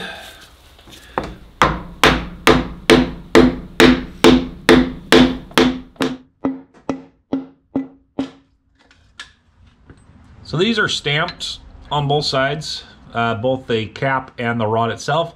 However, another way you can check is we've got witness marks here, and the tang is on this side, so both tangs go on one side. And the tang is on this way, so we do know that this goes in this way. No, I'm not going to torque these down quite yet. I just want to snug them up and then rotate the engine. I'll tighten them all up when they, uh, it's down here. I can get to them easier and examine the uh, connecting rods and the connecting rod caps to make sure it's all mated nicely like. But there you go. Two more to go. Uh, all three cylinders are back in. Pretty uneventful torquing this to 40 foot-pounds, but obviously your your model might ever so slightly vary. So definitely check your service manual, of course.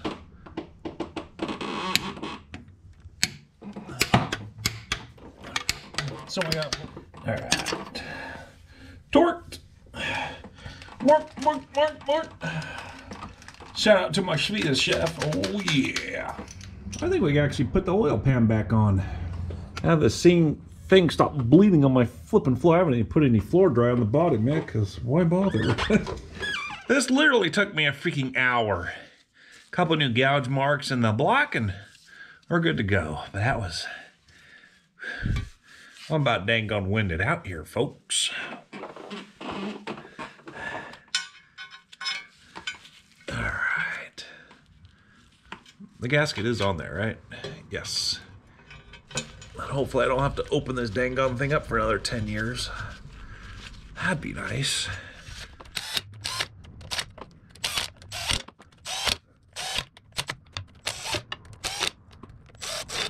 That broken.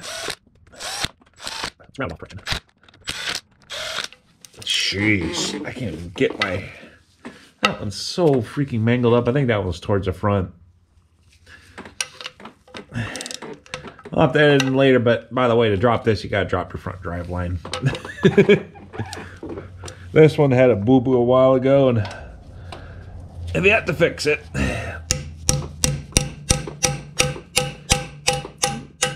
Alright. look, I can get it tight now. There we go. That's fine. Apparently, we're gonna need another 8 millimeter bolt at some point. Little hole for our purposes oil cover on. I'd say oil pan was more of a cover. Oh, crud muffin. You know, one of my instructors, and I agree with them, they said when you do stuff like this, either have the oil drain bolt all the way in or all the way out. Don't leave it like this because you're gonna possibly forget it. You either have it in, if you have it in, it's all the way tight, or if you want to have it out, have it all the way out. So there can't be any foo bars. Right. I'm done laying on my back with this pig. Time to take you guys topside. Now, I didn't want to do this part until the very end because my liners are marked and I didn't want to remove the mark. But basically what's going to happen is if you're reusing your liner, make sure you scrape off the carbon, not only on the lower shoulder here, the one that we measured with a dial indicator, but you're also going to want to scrape off this upper ledge here. This is also part of the ceiling right here. And as you can see, I have a little bit of carbon here. This is probably the most important part because that's right where the compression gets sealed off, right? Obviously, you'll have to clean your bore up a little bit because you might get some guff in here. Should have done this out of the tractor, but I didn't want to lose my marks either. So we may want to consider doing this out of the tractor. Ew. That had some schnotts in it. Now, reading on the internet, allegedly these studs have been known to walk out um, on their own. I can feel a couple, couple of them are loose. Now, obviously, I blasted them with an impact, so they're a little bit loose. I suspect it could be a problem because three of my studs just decided to go out. So all I'm going to do is take a, a nice old school pipe wrench. It's going to tweak these just enough just to make sure they're solid. Solid enough.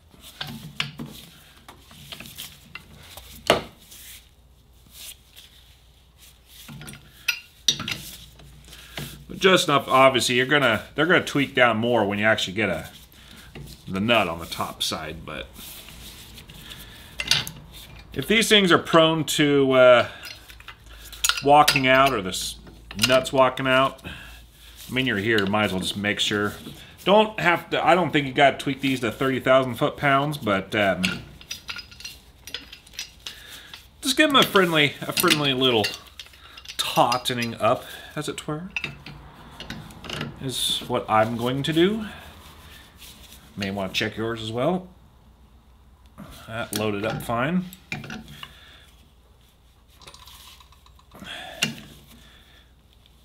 Last thing you want is head stud problems. I mean, thank goodness they're head studs and not bolts, but better clamping force, of course, but... Oh yeah, that one was way loose. See, now, it may not have been able to tighten all the way down if we just went uh, without looking at these things. There we go. It's got some good spring to it now. Have to come over to your side. There we go. Yeah, all of them could use a tightening here. There we go. All right. Nothing ridiculous, but get them drawn up nice and taut. And these studs are pointed in one direction. There's a crown on top of it. There's a concave bit right here.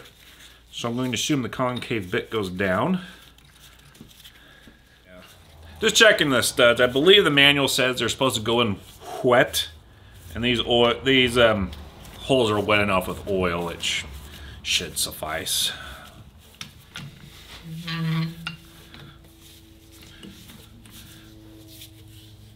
Again, looking at the dome piece goes on top, it looks like.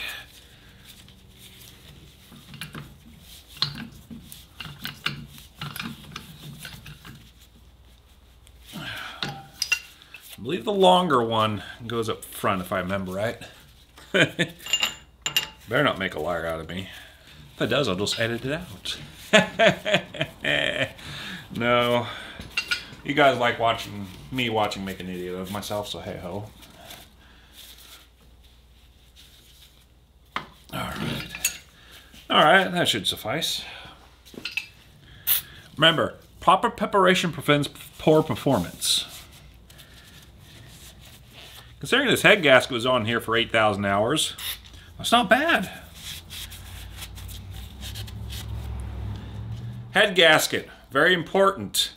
Get the OEM only. Aftermarkets might work, and I'll show you what's wrong with them.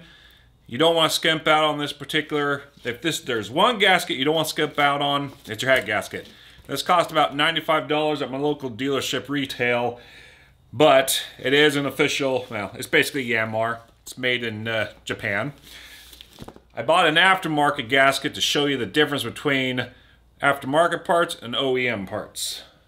Okay, you notice it goes down fairly easy, right? For the most bit, just give it a second. It's a little taut, but it's not bad. And then boom, just goes all the way down. Perfect. This is the aftermarket one.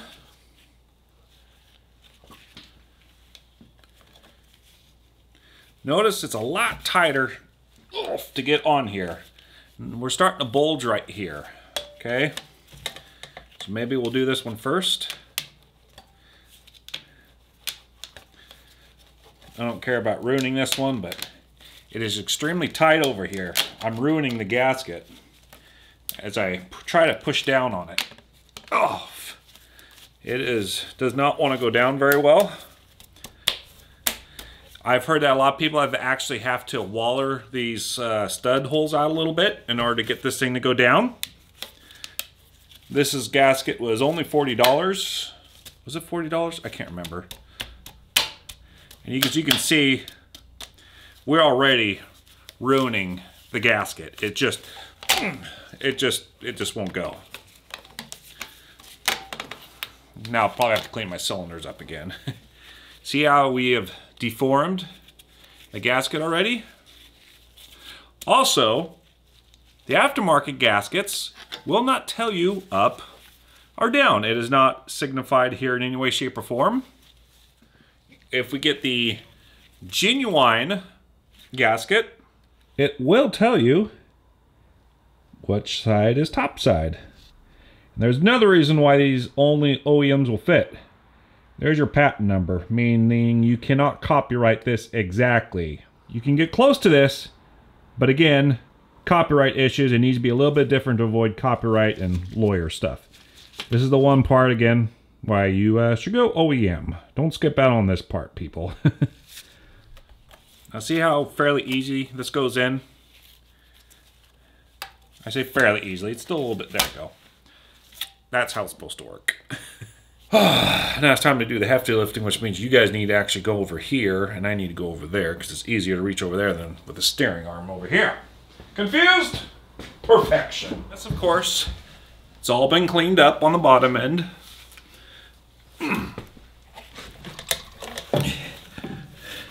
I'm actually going to try to put this on without my cherry picker, which is probably a stupid idea, but oh well. I've done worse things in my life. Uh-oh. Well, there goes my phone. That's wonderful. Okay. Right then. Let's go find some nuts. I did check the manual and they do say the uh, threads are supposed to be wet both on the studs and the bolts. I think it's for the 915 852 peeps as well. I'm not 100% certain. The 1050 in the manual is just a little bit... It's in a different section. The 850 and the 950 are a little bit different than the 1050s. Although I think the 850s and 950s actually had a decompression lever on them, which would be kind of nice if you want to spin this thing up without compression to build oil first. That'd be kind of cool. But there's an extra couple of steps on adjusting your valve, so, you know, your mileage may vary. Excuse you. That's painted green, so we'll put that on the outside. That looks like belongs on the inside.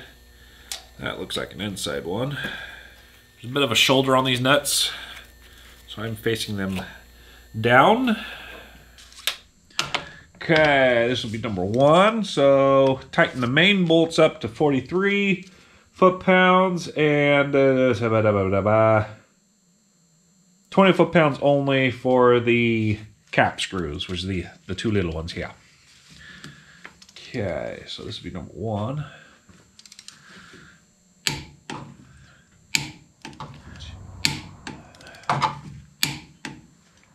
This is where you shift down to five and six, but you gotta shift your torque down to 20 foot-pounds. Fun fact, I've never calibrated this thing in my life since I bought it new. I always back it off when I'm done with it so the spring will stay, I don't know, a little bit more accurate, but I'm sure it's off. hasn't been off enough for me to worry about, but I'm sure it's not quite right. After, I mean, I think I bought this thing in college, so early 2000s, and it's 2024. Oh, Oh, crikey, this thing's like 20 years old. Ooh. Yeah, it should probably be calibrated. Now, let's see. Now, as I'm torquing this down, 5 and 6 here, uh, your engine will vary between the 850 and the 950 and the 1050. And even on the 1050s, I think they split up between an earlier and a late model. I think this thing is a later model. I can't remember. So obviously, go get a service manual and double check everything. Don't don't rely on my numbers, right? Entertainment purposes only. And then we'll crank it back up to 43 and do the rest of the first set. So seven now. So please do do due diligence. I'm just this is what it's like if you have to replace your cylinder liners in your 850, 950, and 1050 tractor, right? Seven. Just to give you guys a preview as to what I thought about just bashing this out. But it's like, you know what? Somebody people might actually enjoy seeing how it's done in case you want to tackle this project yourself. That's nine and ten. This is the last one for the. Uh... Well then, this is the last one for the uh, first or first torque sequence, I guess. Really? I gotta get rid of the shop lamp. It's just too stupid.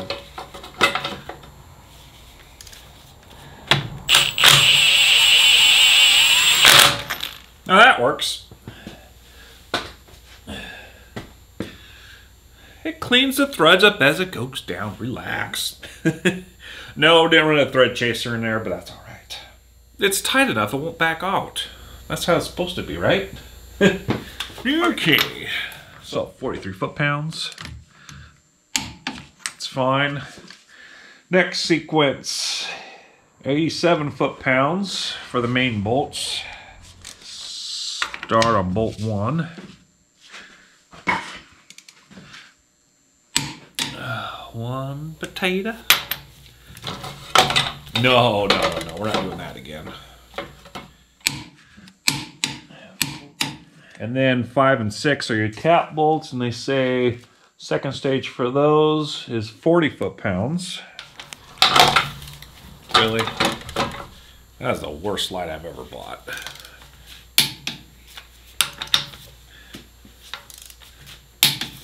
And then back up to 87 foot pounds for the rest of the main bolts.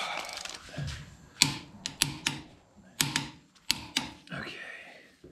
Now, final sequence is a 116 to 130 foot pounds. Oh, this. Oh, mine will go up to 150. Okay, well. Uh, let's do 120. It's right in the middle of the road, eh? Oh, yeah. I love giving myself a hernia and putting cylinder head bolts back on. Excuse me, studs. Nuts? I'm not sure in this particular case. Five and six are our caps. Their final sequence is listed as 55 foot pounds. I'll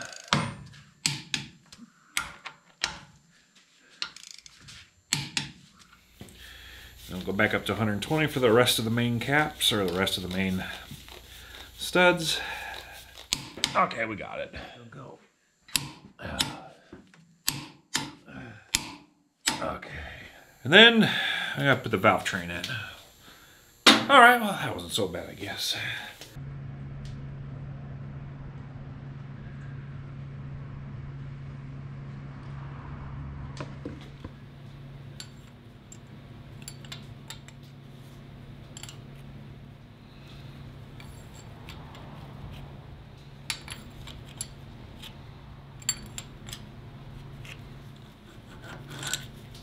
Other way, dum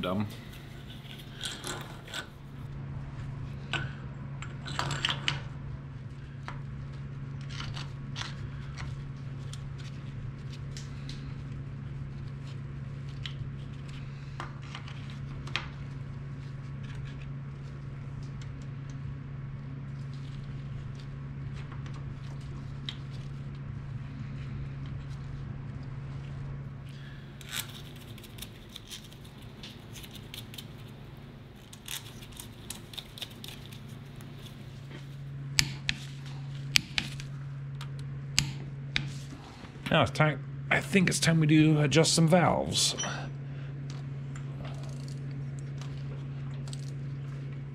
Book says to start with cylinder number one. So I guess we'll do that since we're here. Specs are, I think, six thousandths. So I gotta go verify that. It is indeed six thousandths, and it does say to do it cold, not hot. So we can accommodate that.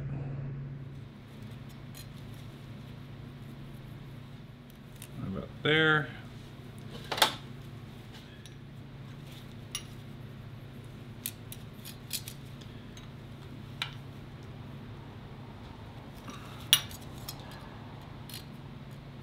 Be too tight. It is too tight. No, of course.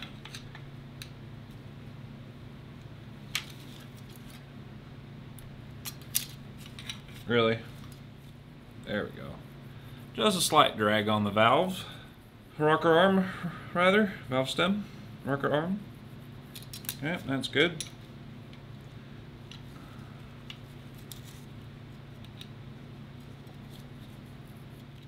Fortunately, this thing's not like a Cummins where you've got the what the A, B, C, and D timing marks, and you got to do the pairs of cylinders first, and all that fun stuff. This is this is a very simplistic engine. Thank you. Very simplistic diesel, I should say.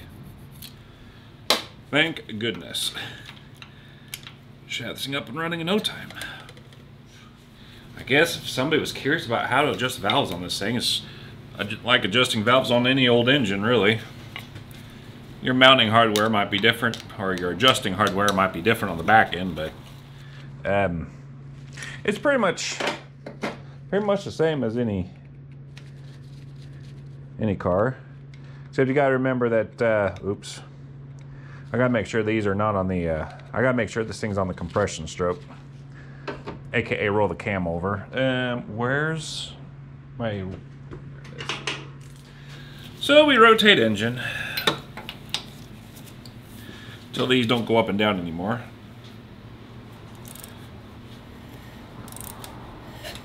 Which actually I could have done it right there, but that's alright.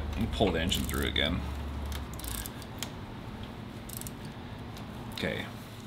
Well, the engine at least feels good rotating over. Nothing's binding, so that's a good start. So that's coming up. Okay. So now both of those are actually uh, ready to be adjusted. Basically, you want these push rods down, right? Since this is a push rod engine. You want your valve or your rocker arms completely up. So you're not on the lobe of the cam, right? Oof.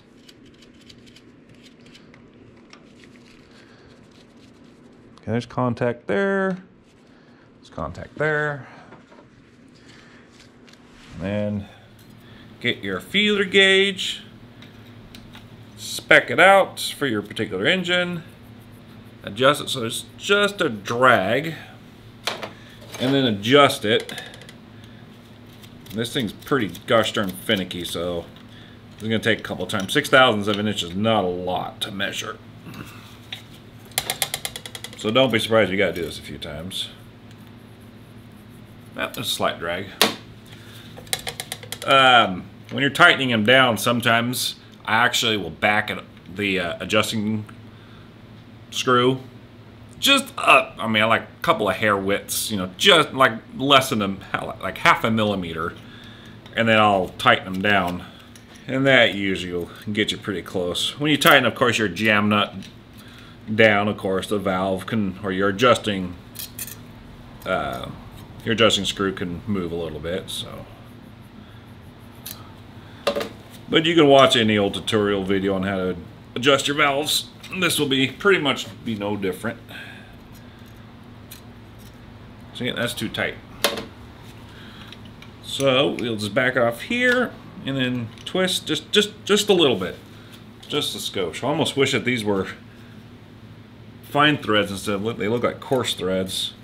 Fine threads that take a little bit longer to make a difference, be a little bit less jumpy. There's a slight drag on there. I am satisfied with that. Make sure this is still top. Yep. Okay. Front cylinder, number three cylinder, technically, I guess, per the manual.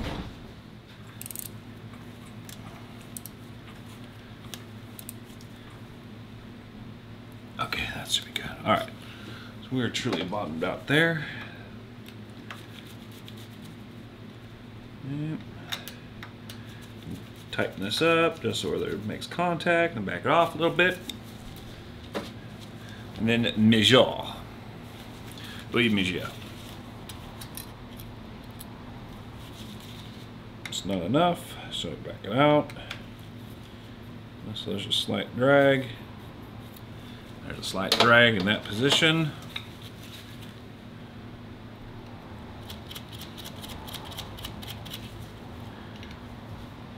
No, that's I already feel that's not gonna be good enough. Let's try that.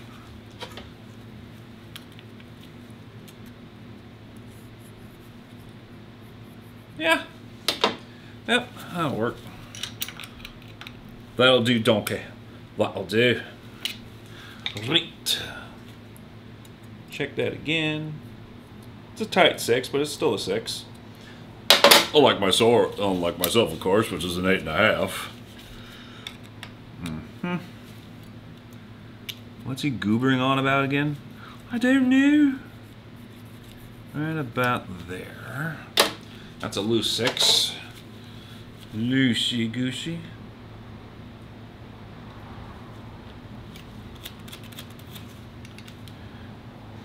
Okay. Validate.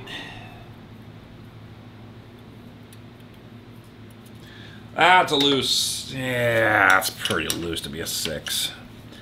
It's more like six and a half. We're in the ballpark. So back that out, and then we'll twist this just a little bit. Now it's going to be too tight.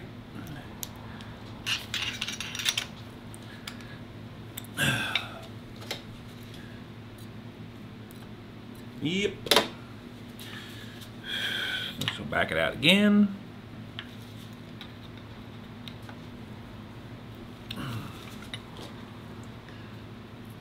There we go. There's a good drag on there. Just enough. Just enough. Okay.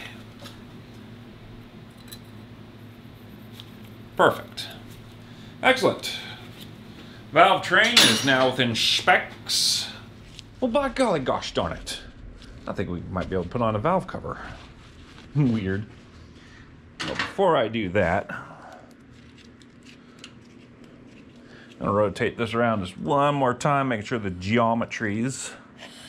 Oh, oh, she's huff, she's huffing now. She got some compression.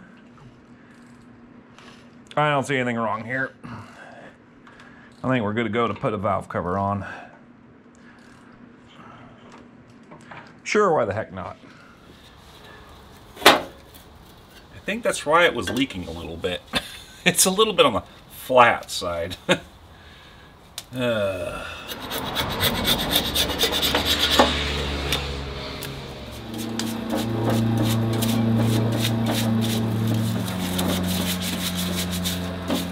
I should note, um, with your valve cover stud holes, these are just simple O-rings that are completely smushed, as well as put new ones in.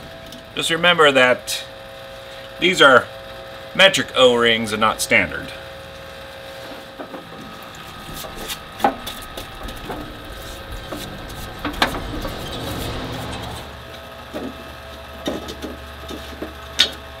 This oil fill cap, also, the O-ring's pretty smushed. Although I think uh, my customer, he just puts it on the uh, where the dipstick is. It's just easier, but this is another uh, another point where it can leak. So it's definitely gonna plug up my screen.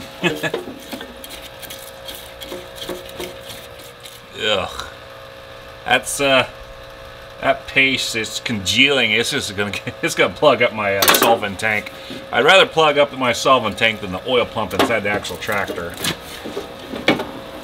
The solvent's definitely reacting to it, that's for certain.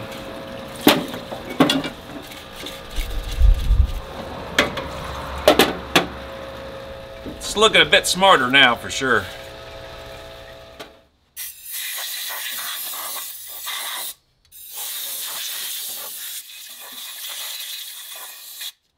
Now, I do not have the gaskets for here and here. Uh, those did not come in the kit. I'll have to order those separately, but fortunately, all it is is the block off plate, and you can easily fix that later after we mount it on the tractor and have some hours on it, so I'm not terribly worried about those gaskets per se right now. Well, looks a lot better. There's no more water in there, or JB Weld sludge. then go over to here. All right. As for the O-rings that go here, I just have a universal set. Now these are metric, so you want to make sure that you have metric to go into the metric slot. I don't know. And I think it was this one. Now this kit looks like an R10. And for a few extra dollars, I'm sure you can go to the dealership and get them, but I have this whole kit right here, so hardly ever use this thing, but it's kind of nice. Don't have a standard set, though. I need to go get that one of these days. Fine, we'll put a little bit of Earl on here. Satisfy all of our beautiful keyboard warriors, yes. Ah, stay on there. I'm just gonna hand tighten these. I'm sure there's a torque spec, but me grabbing this right here, I can't torque it down very hard. Just fine. You must do a lot of warranty claims. eh, not really.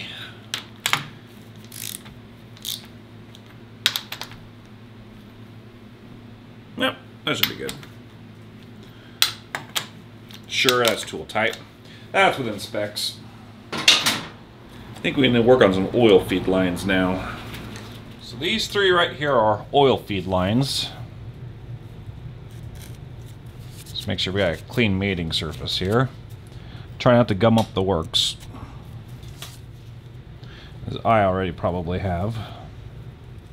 So putting your oil feed line on, you got a copper washer. It's going to go from here to the block and from here to the bolt.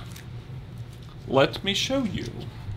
Instead of buying the correct washers, which probably would have been faster, I did get a universal kit because I'm tired of my metric cars like our Volvo. These things go missing or banged up. I just want to have a supply on hand. If you do get a universal kit, make sure you measure these first against the OEM ones. Most of the ones I found, they were too skinny, not enough meat on here. Um, these ones I actually measured it before buying it. That listed in the picture, and it was actually true and correct. So these will fit just like OEM. And yes, there are metric ones, and then there are standard ones. So pay attention. and it looks like they're brazed right here. So my advice is just kink it back here, where you're not going to do much damage. I could probably take it all off, but honestly, it was just faster just to. Yep. Just kind of tweaked a little bit. There we go. That should suffice. Okay, so we got one washer here.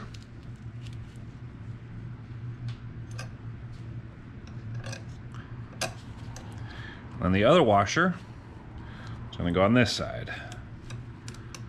So now they're all sandwiched up. And don't pinch your glove in there. Okay, that one started. Plus, you could probably save about 30 bucks by buying one of these universal kits anyways. But this kit will allow me to use all new copper washers everywhere. Which, in practically speaking, you should. In my opinion. Because these are original, I'm sure. And uh, I'm sure they're well heat cycled and checked and worn out. Okay, we, we have a fair bit of play here. Not a lot. I'll have to check the back spacing here against the firewall. We're not too worried about that per much. I want to clamp this down so I don't bust this brazing here. But uh, I think I will check for torque specs on these because you are dealing with copper washers here. So it's flexible enough. It should be all right. It's not rubbing up against the... You guys may not be able to see it. Where oh, actually, I tell a lie. That might be rubbing a little bit. Might have to tweak it out ever so slightly. There you go. Just enough. That way it's not rubbing on each other. Nope, it's still. I don't remember tweaking it right there, but.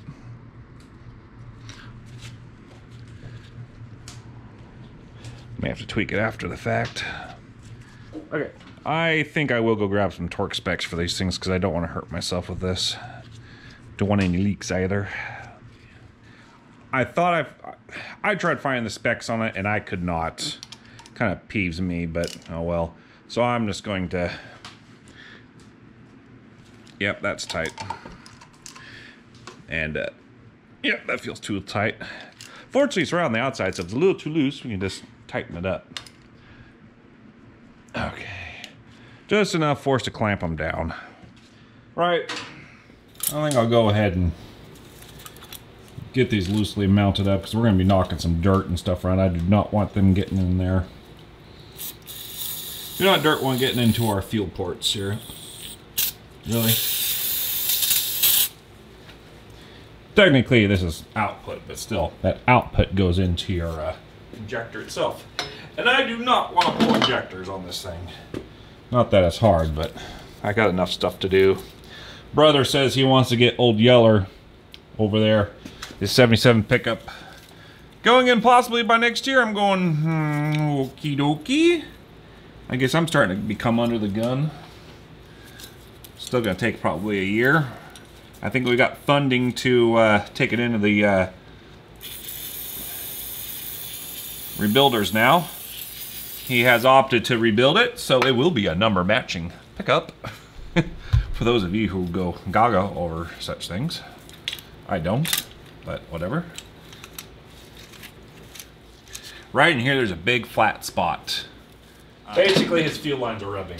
And Vince is going to rub through. Okay? Right here. Okay, right here is where it's rubbing. So we're going to have to make note of that and probably either tweak this line up so it doesn't continue rubbing because it's it's wearing through. You can feel it. It's definitely flat right there. You can see it right there. It's flat. I might put down the shopping list for him in the future, just in case. Since I have the book with me, I can pull the part number. I don't know if you can get these new, but we got... I can go around to some junkyards and find these fuel lines, but to make note of that. Just something else to watch for when you're doing, you know, stuff like this. Especially working on diesel steel hard lines, you pay attention to their condition. Well, we won't tighten these up quite yet because I still have to bend these lines a little bit and get those fuel injection lines up. Now that's somewhat sealed. Let us clean up our exhaust ports. You know, instead of a colonoscopy, uh, to clean up your exhaust ports, you can just go to Taco Bell for $5.99. I got a special going on. I'm sorry. For those of you who don't get that joke, you're my sweet summer children, and Godspeed. If you do get that joke, well then have a good chuckle. Um, oh. Oh no. No, no, no, no, no, no, no. Is this another one of them, I got to spend an hour and a half taking off a gasket? Oh, blessed be, yes it is. Oh, nothing but this, nothing but disaster. What was, what's my slogan? Nothing but problems, yes. Nothing but problems, oh yeah. And of course, this is the steel one, so this could be fun. Oh yeah. I feel like another, another jam session is uh, coming on while we do a jump cut. That's... No. Oh yeah.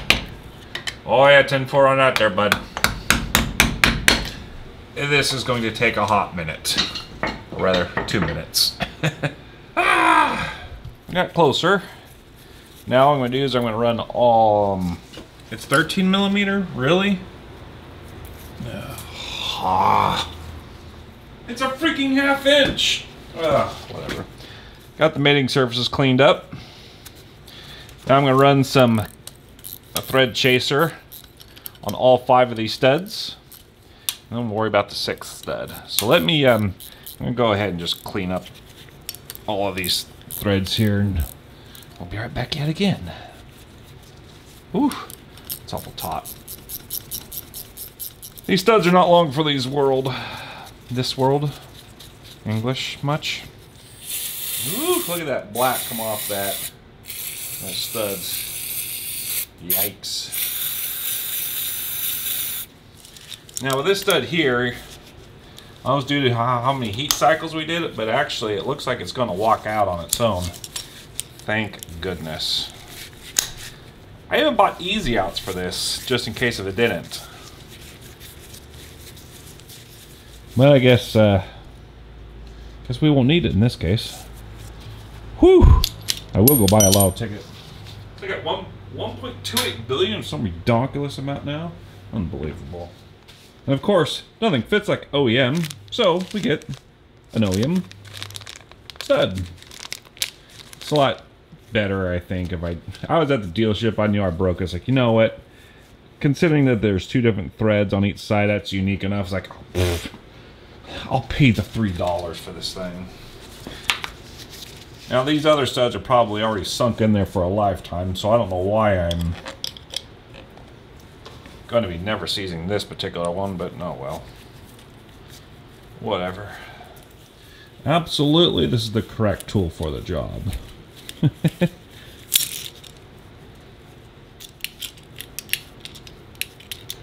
well, I do declare, I think we're ready for an exhaust manifold. Come on. One for you. One for you. And one for you. And up to Daisy.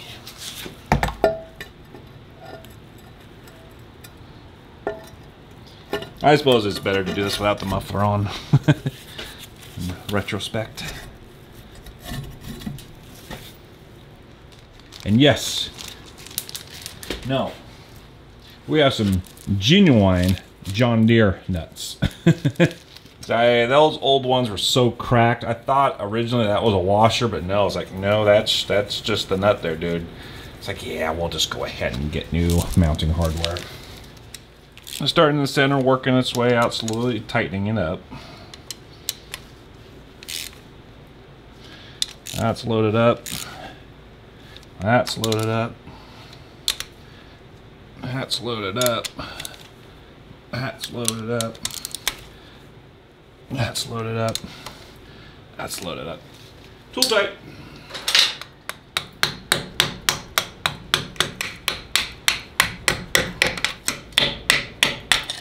Don't worry about knocking too much dust in here. This output to the muffler is not going to get sucked up into the turbo. It's just going to plug up your muffler. All right. That's probably good enough. Now I can get my thread chaser up in here. Mm-hmm. I think you only need like the first quarter inch, maybe third inch of actual threads.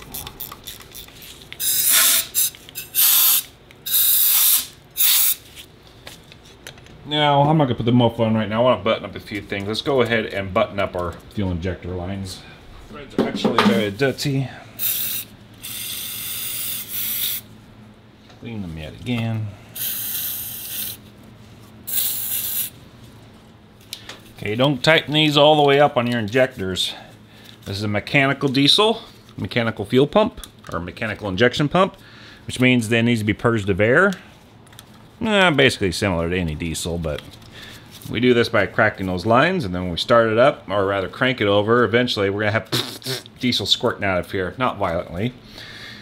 And then we'll be ready to tighten it up for the final time. I don't know what we can do about these lines not being bent. I mean, that's what the spacer's for. Unfortunately, I didn't buy one, and it's probably gonna take another week to get here. No, honestly, I might just put some hose, like vacuum tubing or fuel injection or a fuel hosing on there. Kind of hard to tweak up, unless I can. Actually, I might be able to manipulate it over here.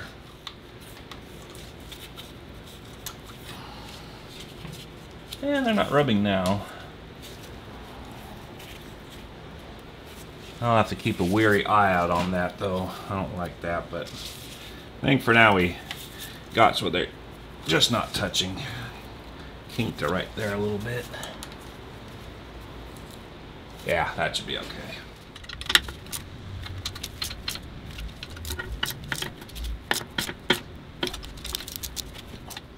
Okay, oil return from the turbo. I'm going to take the old O-ring out and be done with it. It's getting a little flat. It was okay, but probably would have worked for a while. Yeah, we'll just go ahead and put a new one on there since we're here.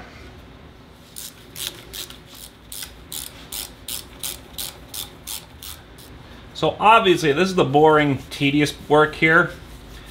Before I, I think I'm just going to do a jump cut here in a second, but before you go, I like to show you uh, at least one very specific thing with this tractor I found. There's one thing I want you to check before you button everything up. Let me show you. Uh-oh, Popo's on patrol. Hello, Mr. Popo. Hey, I'm in my shop. I am in my shop, sir. Sir, I'm in my shop. Just minding my own business, making stupid YouTube videos that no one will ever watch. Okay? Everything's alright. So when you're doing this, guys, please check this little guy right here. This is your tachometer drive. This one was halfway out. He was about ready to lose his tachometer drive. I mean, you plug it back in, screw it back in, that's fine. But um, to get in here with the belts and the shroud and the fan and everything, it's a right tight bugger to get in there, and it, it's pretty hard. So if you're in this far, just check that out, please. So pretty much, I'm going to button everything else up. Uh, every copper washer and O-ring that I find is just going to get replaced. That's just mundane stuff and I'll do a jump cut and we're going to jump cut to where we're priming the fuel system and then hopefully be able to kick this thing over and hopefully it'll make some proper noise and um, we have no more fluid leaks or rather the fluids hopefully will stay in their own compartments right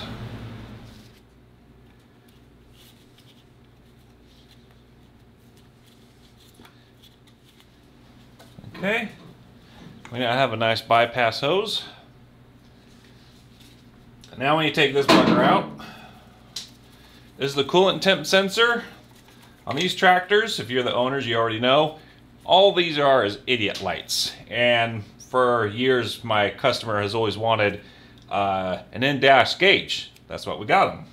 So I got a Thermo King. And all I simply did was grabbed a 2 and 1 16th hole driller. You just put into uh, put into your drill, punched a hole right there, and installed it. And later, if we want, instead of these idiot lights, we can also put a oil pressure gauge right in here. There's enough room under the dash. I wrapped, it's a capillary tube. I just wrapped it in vacuum hose from there going to the dash just to protect it. I really didn't want to feel like wiring anything in, so we're just going to kick this uh, pretty much old school and uh, just run an old capillary tube in there. So that's what that program is there. I'll go ahead and tidy that up. And then I think we're ready to put fluids in it and uh, prime the fuel system. We're getting close, folks. We're getting close. Oh. Oh yeah, this torque to 80,000 foot-pounds. Ah. Oh. When's the last time this thing's been off? Holy guacamole, Batman.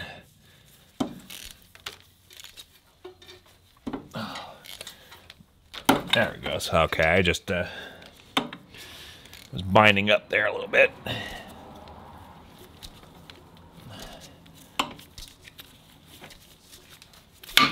Okay, I think we're good.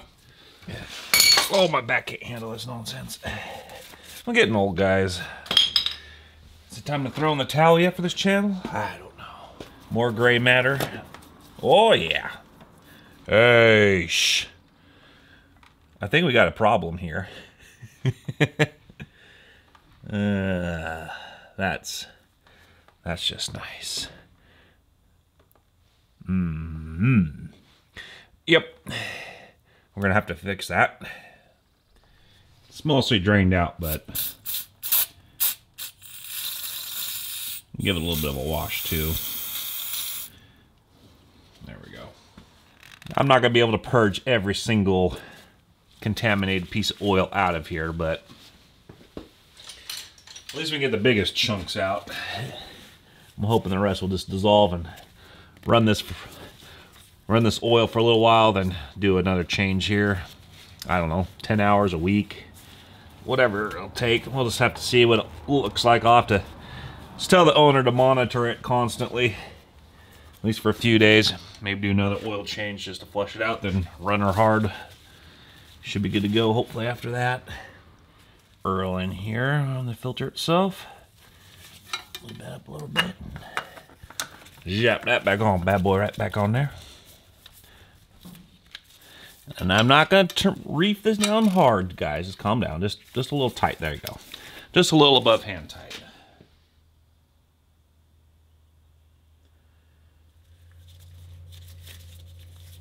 Maybe only put five quarts in there and just run her at idle. Maybe, or just put around for a couple hours and then change it out again. About half, yeah, now nah, we'll, we'll top it off. We completely drained pretty much all of the oil lines and everything. Everything's drained, so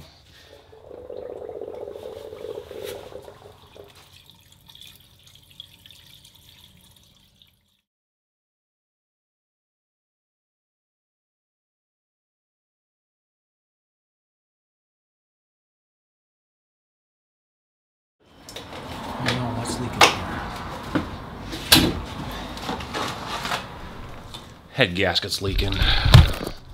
Don't know why, but it's just pouring out. Did I get a bad gasket or the, they gave me the wrong one? I'm gonna have to go search those serial numbers now. Dang it. Okay, so I figured out what's going on.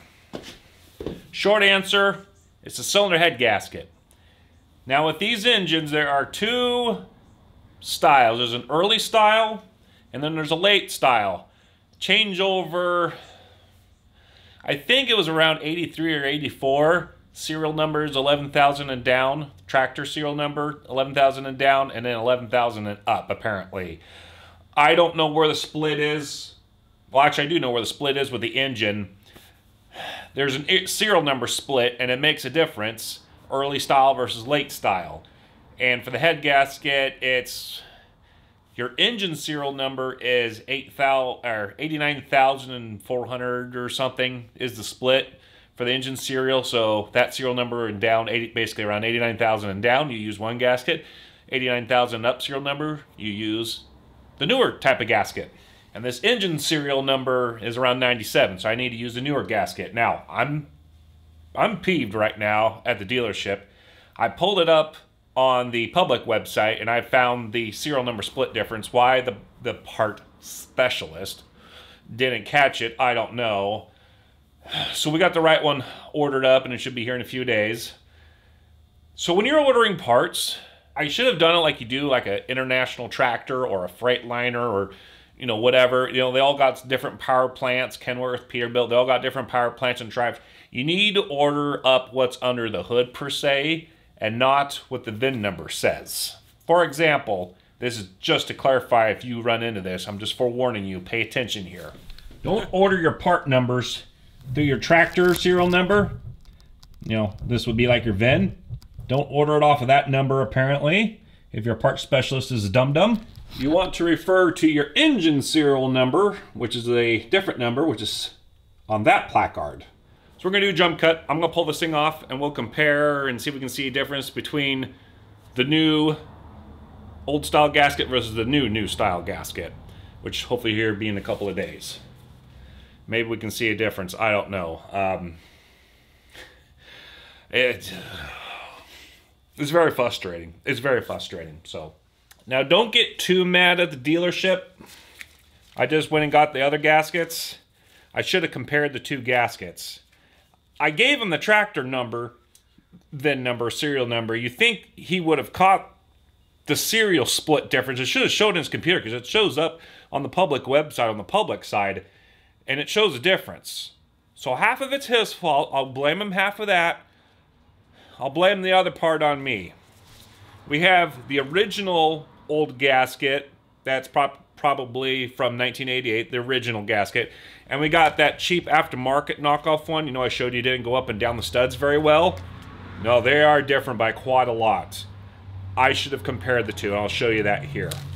So we can see right here, The new gasket, or rather the correct gasket, is the factory one, the original one. So what we're seeing here is the factory correct one that originally came off the tractor. And I assume this is from 88, 1988. And we got the junk aftermarket one, which I showed you doesn't slide up and down very well on the studs. Look at the difference. Yeah, there is a ring in there that's not supposed to be in there. So that gasket is not made incorrectly. So that's just wonderful.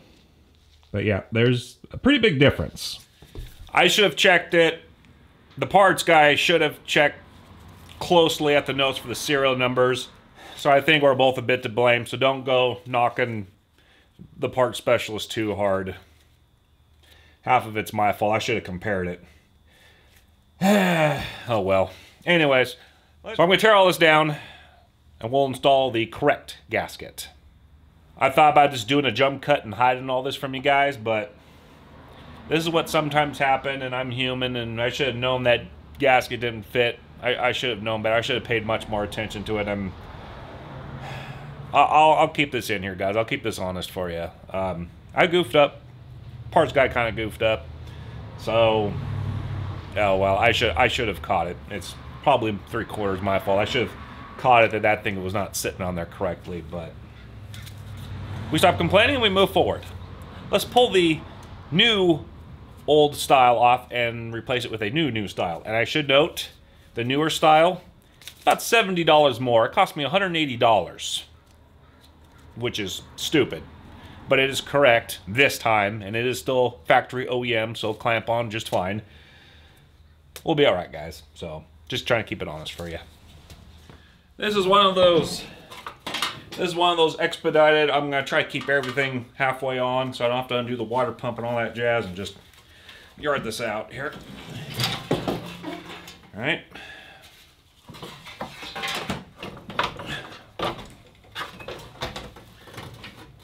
There we go. Okay. Oh. Yep, wrong style. Remember the top one here, the one you've seen right in front of you, that's the old factory correct one.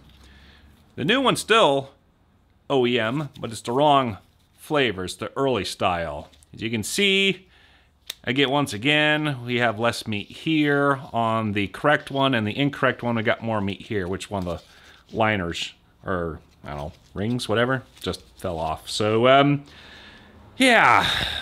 Now I gotta wait for another day and Hopefully John Deere will send the right one this time. Be none the wiser. Fortunately, none of the water got in the cylinder bore. That's all right. I also did check uh, the part numbers for the O-rings liners because I'm thinking, great. If there's a newer style and older style of this uh, 3T90 engine, are the liner rings different too? The sealant rings. I'm going. I got on there. Unfortunately, it looks like it's not engine serial number Pacific. It's just model 850 is a little bit different than the 950 or the 850 and the 950 belong together, but the 1050 is a little bit different. It's just separated strictly by model number. Thank goodness. So at least I don't have to pull cylinder liners out again. Thank goodness.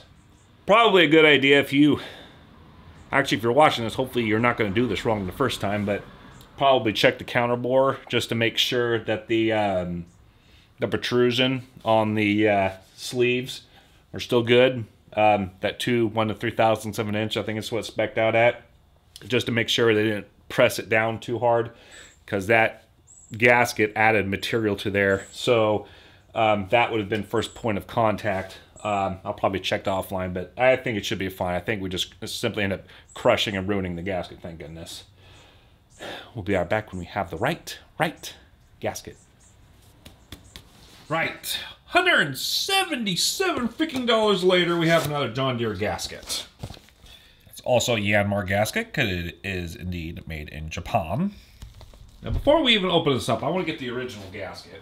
So I've had just about enough of this nonsense. And that's perfect. All right, okay. You tell me. You tell me there's a $70 difference. Can you guys see the $70 difference? I just, I, I don't know. I don't know. Whatever. Now that we know that's the right one. Yeah. Should have compared the first one. I'm kicking myself. I'm not charging the customer. I'll eat. I'll eat the money on the uh, the wrong gasket that was ordered. Feel that's only proper. Let it be a lesson to myself. Got some oil on the deck just to keep everything from rusting out because it took a couple of more days. So I'm going to wash it all down with brake cleaner here. Okay, this one is marked top, of course. This one does fit reasonably well, as it should for 177 flipping dollars. Still a bit on the taut side. Nowhere near as bad as the aftermarket one, though. That's for dang on sure. Oh, please come on. Oh, please. Don't be such a poo poo head. There we go. There we go. Right. Oh, look at that. That gasket actually conforms around the uh, liner this time. Huh. Apparently that's a thing. right. I'm going to reassemble this thing.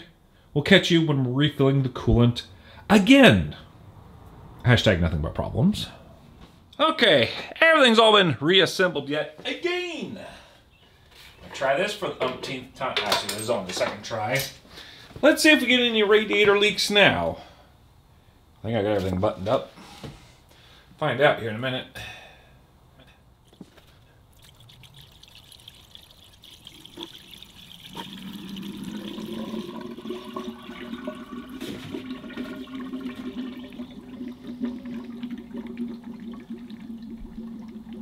Okay. Okay.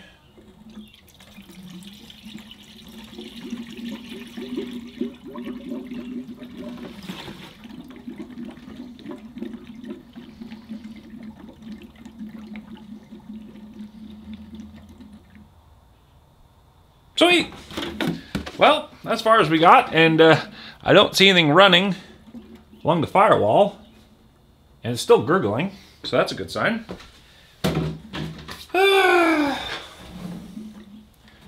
gurgle, gurgle, gurgle. Let's see. I don't remember where. I don't. I don't remember if I left off with the concentrate or the water, or if it's a 50-50 in there. Ouch. Um. I don't know. A little bit of water, a little bit more water, a little bit more coolant, I guess. Keep, try to keep it 50-50. Things are still trickling. This is good. This pleases me. Okay, the radiator's still got stuff on the top. We're about there on the level, so we're pretty good to go there. It does appear to does not the water does not appear to be going anywhere this time. That is good. Next thing we're going to do, prime the fuel system. Since this is a mechanical diesel, we want to see, keep these lines cracked. We want to see fuel squirt out from all of your cylinders. I can see it from here. I'm just trying to help visualize it for you guys.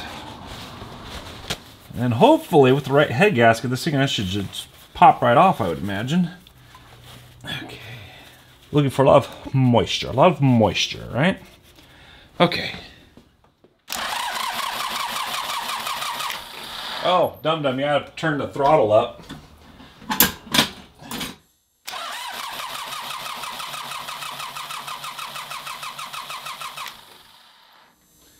Why are we getting fuel? What's going on here? I've had the fuel valve off, I don't know. Oh, there we go.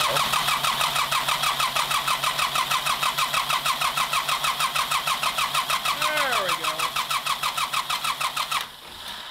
Dum Dum had the fuel va- valve off on the filter. Woo, Lord! That scared me for a second. And I turned. I was trying to turn the engine the correct way. I don't want to spin it backwards in case it damages the injection pump. That was my next fear, but looks like some idiot just forgot to turn the fuel on. That's nice. Okay. Okay. Yes, please ignore the fact I'm using a standard wrench, not a metric flat wrench. Shh, it'll be okay. Right? Again? Really? Right, I think it's about time we light some fire in it and hopefully something will happen.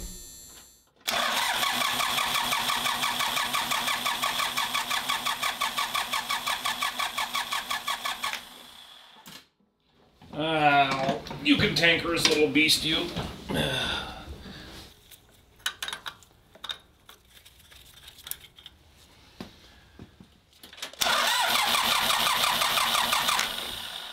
Look at that, no fuel again.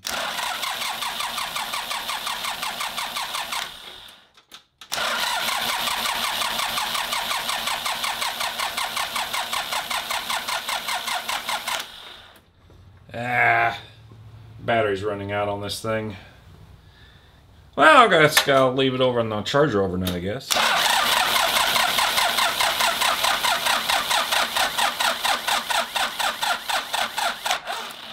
Starting to get a few more spritz out of here, but that battery's gone flat. Gosh dang it. I did test it. The customer did complain. It was cranking over slowly. Yeah. So we have to postpone this for 24 hours while I get this plugged in.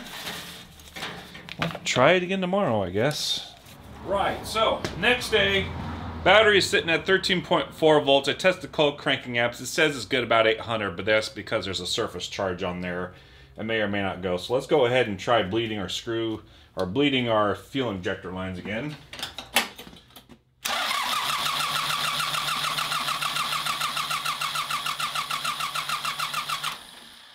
And we've got steady stream out of this one and this one. This one's gurgling pretty good, so let's go ahead and see if that worked. Could be that battery lows because his alternator may not be charging. We may have to look into that. I don't have time to fix it right now, but fortunately this is a mechanical and mechanical engine, so you don't need it to run it. You just need it. To, you just need electricity to start it. Is all. All right. Let's try crank it up again. Now come on.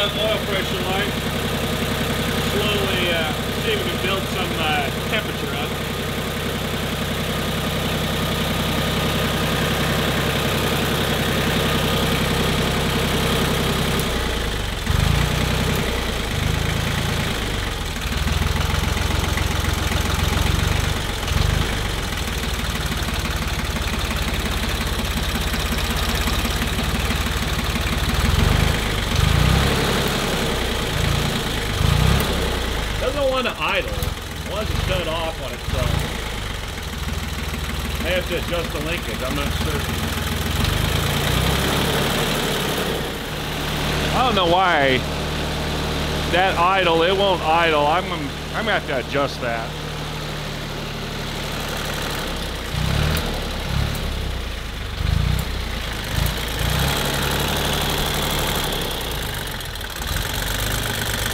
That's where it should be at idle. I'm gonna have to adjust that.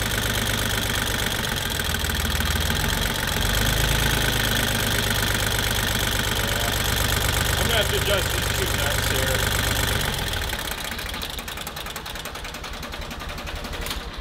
That's too low. Um, let me adjust this idle, and this thing can just, just let this thing idle and hopefully find itself when it comes up to temperature. Looking at the oil uh, feed lines, I don't see them leaking. Looks like my copper, brand new copper gaskets are holding out. No dripping. Eh, it's kind of moist. I'll have to keep an eye on that. I didn't see any initial dripping of the diesel there. But uh, so far, so good. Sounding good enough. That could have been just a purging of the air. Because I got everything lined up and everything torqued back. None of the fuel lines seem to be leaking.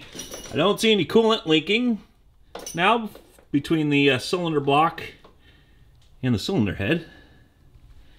That looks all right. Uh, oil feed lines look good. Those plugs look good. Everything looks dry. All right, let me adjust that. Uh, let me adjust that throttle linkage and we'll be right back.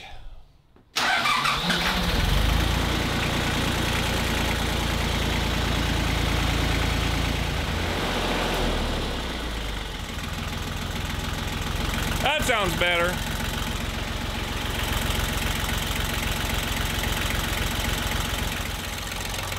However, our adjusting rod is almost completely out.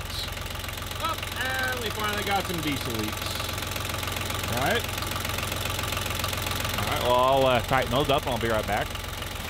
Okay, well, after several minutes of tidying up those fittings and bleeding the air out yet again, be running all right. Looks like it's gonna. I'm probably just sit fat, dumb, and happy and wait for this thing to warm up.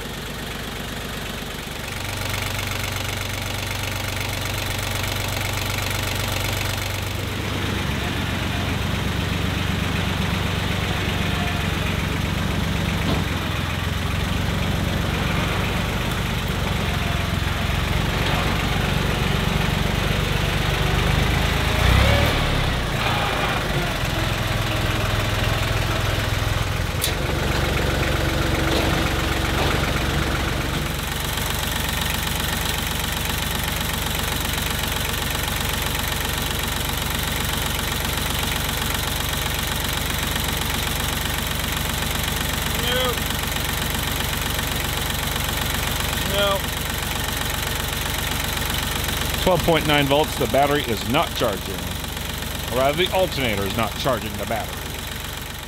Well, definitely sounds good. No leak on the injection lines. Made sure that the oil feed tubes, or oil feed tube up the cylinder is not rubbing on anything. Even check on the back of the firewall. That looks good. Inter, well, not intercooler, but your intake hose is back on. However, the uh, reservoir for the coolant is um, DOA, or rather, it's SOL. See how it's nice and hard right here? You can squish that. yeah. Yeah, this coolant jug is done. It's not going to hold. It's not going to hold any fluid whatsoever. It was actually leaking a little bit. So, I have to either get what a used one on eBay or go to the dealership, one of which. Battery's not charging. Revved it up just to see if I need to excite it a little bit. And, um, I still only got 12.9 volts out of it. So, no, that alternator's not putting out whatsoever. However, this is a mechanical diesel. You only need it to start so I'll just tell my customer he's mechanically inclined enough. He can pull that off and take it to our mom and pop shop and have them uh, put it on the bench and see what uh, see what the deal is there. I uh, got to uh, put up some zip ties. So last minute buttoning up and go and put it around out in the field a little bit and open it up a little bit and make sure it behaves itself. And the coolant is still at the top. I need to pressurize it, I guess. So I'm gonna go ahead and start that now. And it looks like Probably has a 160 thermostat. because it's just above the 150. Uh, it's just barely in the green mark. Really, for engines, you need them to be at least about 180 degrees to boil all the moisture out of the engine. And as you saw by the oil, it has a massive amount of moisture still that needs to get rid of. So let me do some more buttoning up and uh, we'll go have a little putt-putt with it.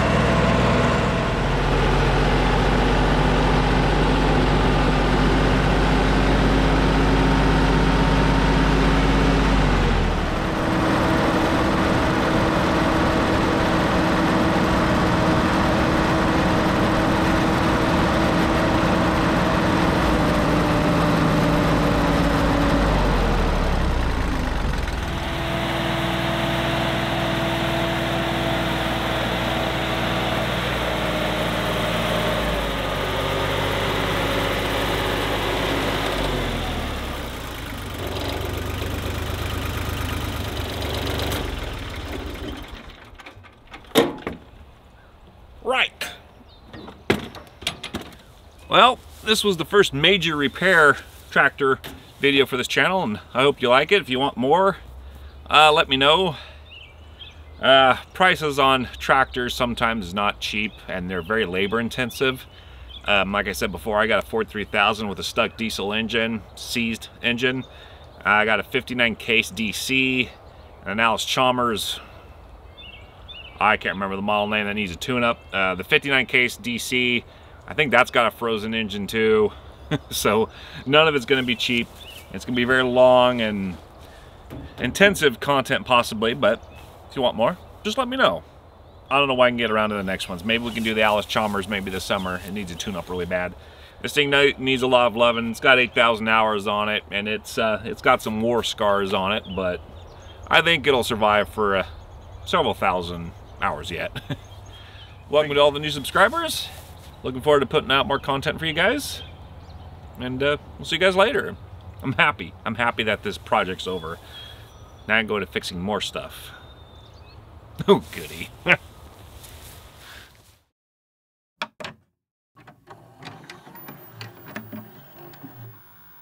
Right. I think we'll go ahead and take the turbo feed. Alright, let's see here. What shall we make a mess of next? going to loosen up our alternator bracket because that's part of the screen part here is part of the Try it again. Doggone her anyways, can't see that I didn't try. Another one to finish with the other one and drinking my baby goodbye.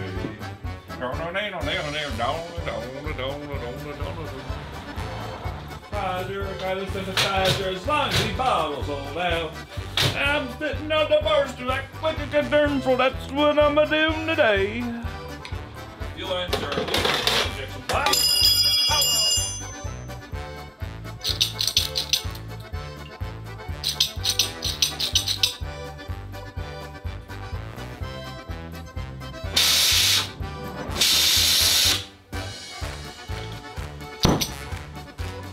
Disconnect the. Whoa. Whoa. Not bump the camera!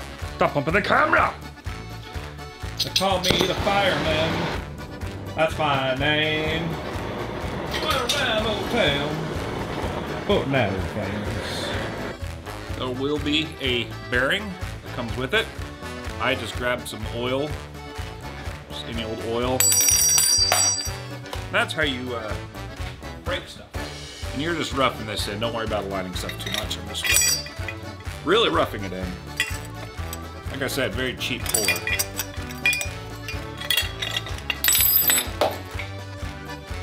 Oh boy, I'm. Let's do number one. Next.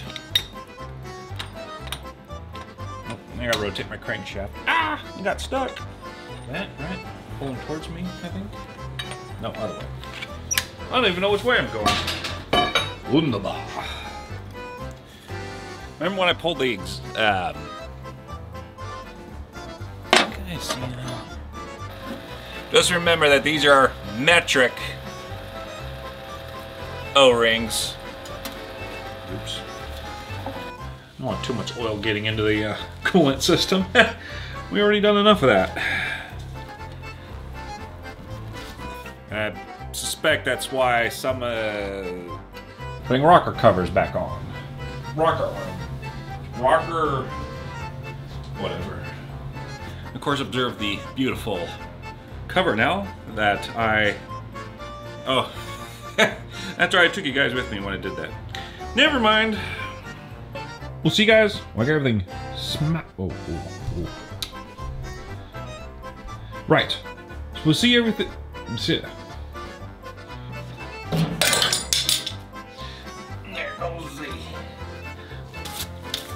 Radiator cap.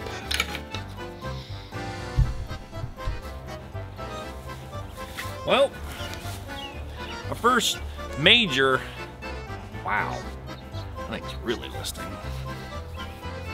Don't they know it's the end of the world? Oh, I suppose I'd rotate the engine over, eh? you were such an idiot! Nobody messes with McSqueezy. Mm.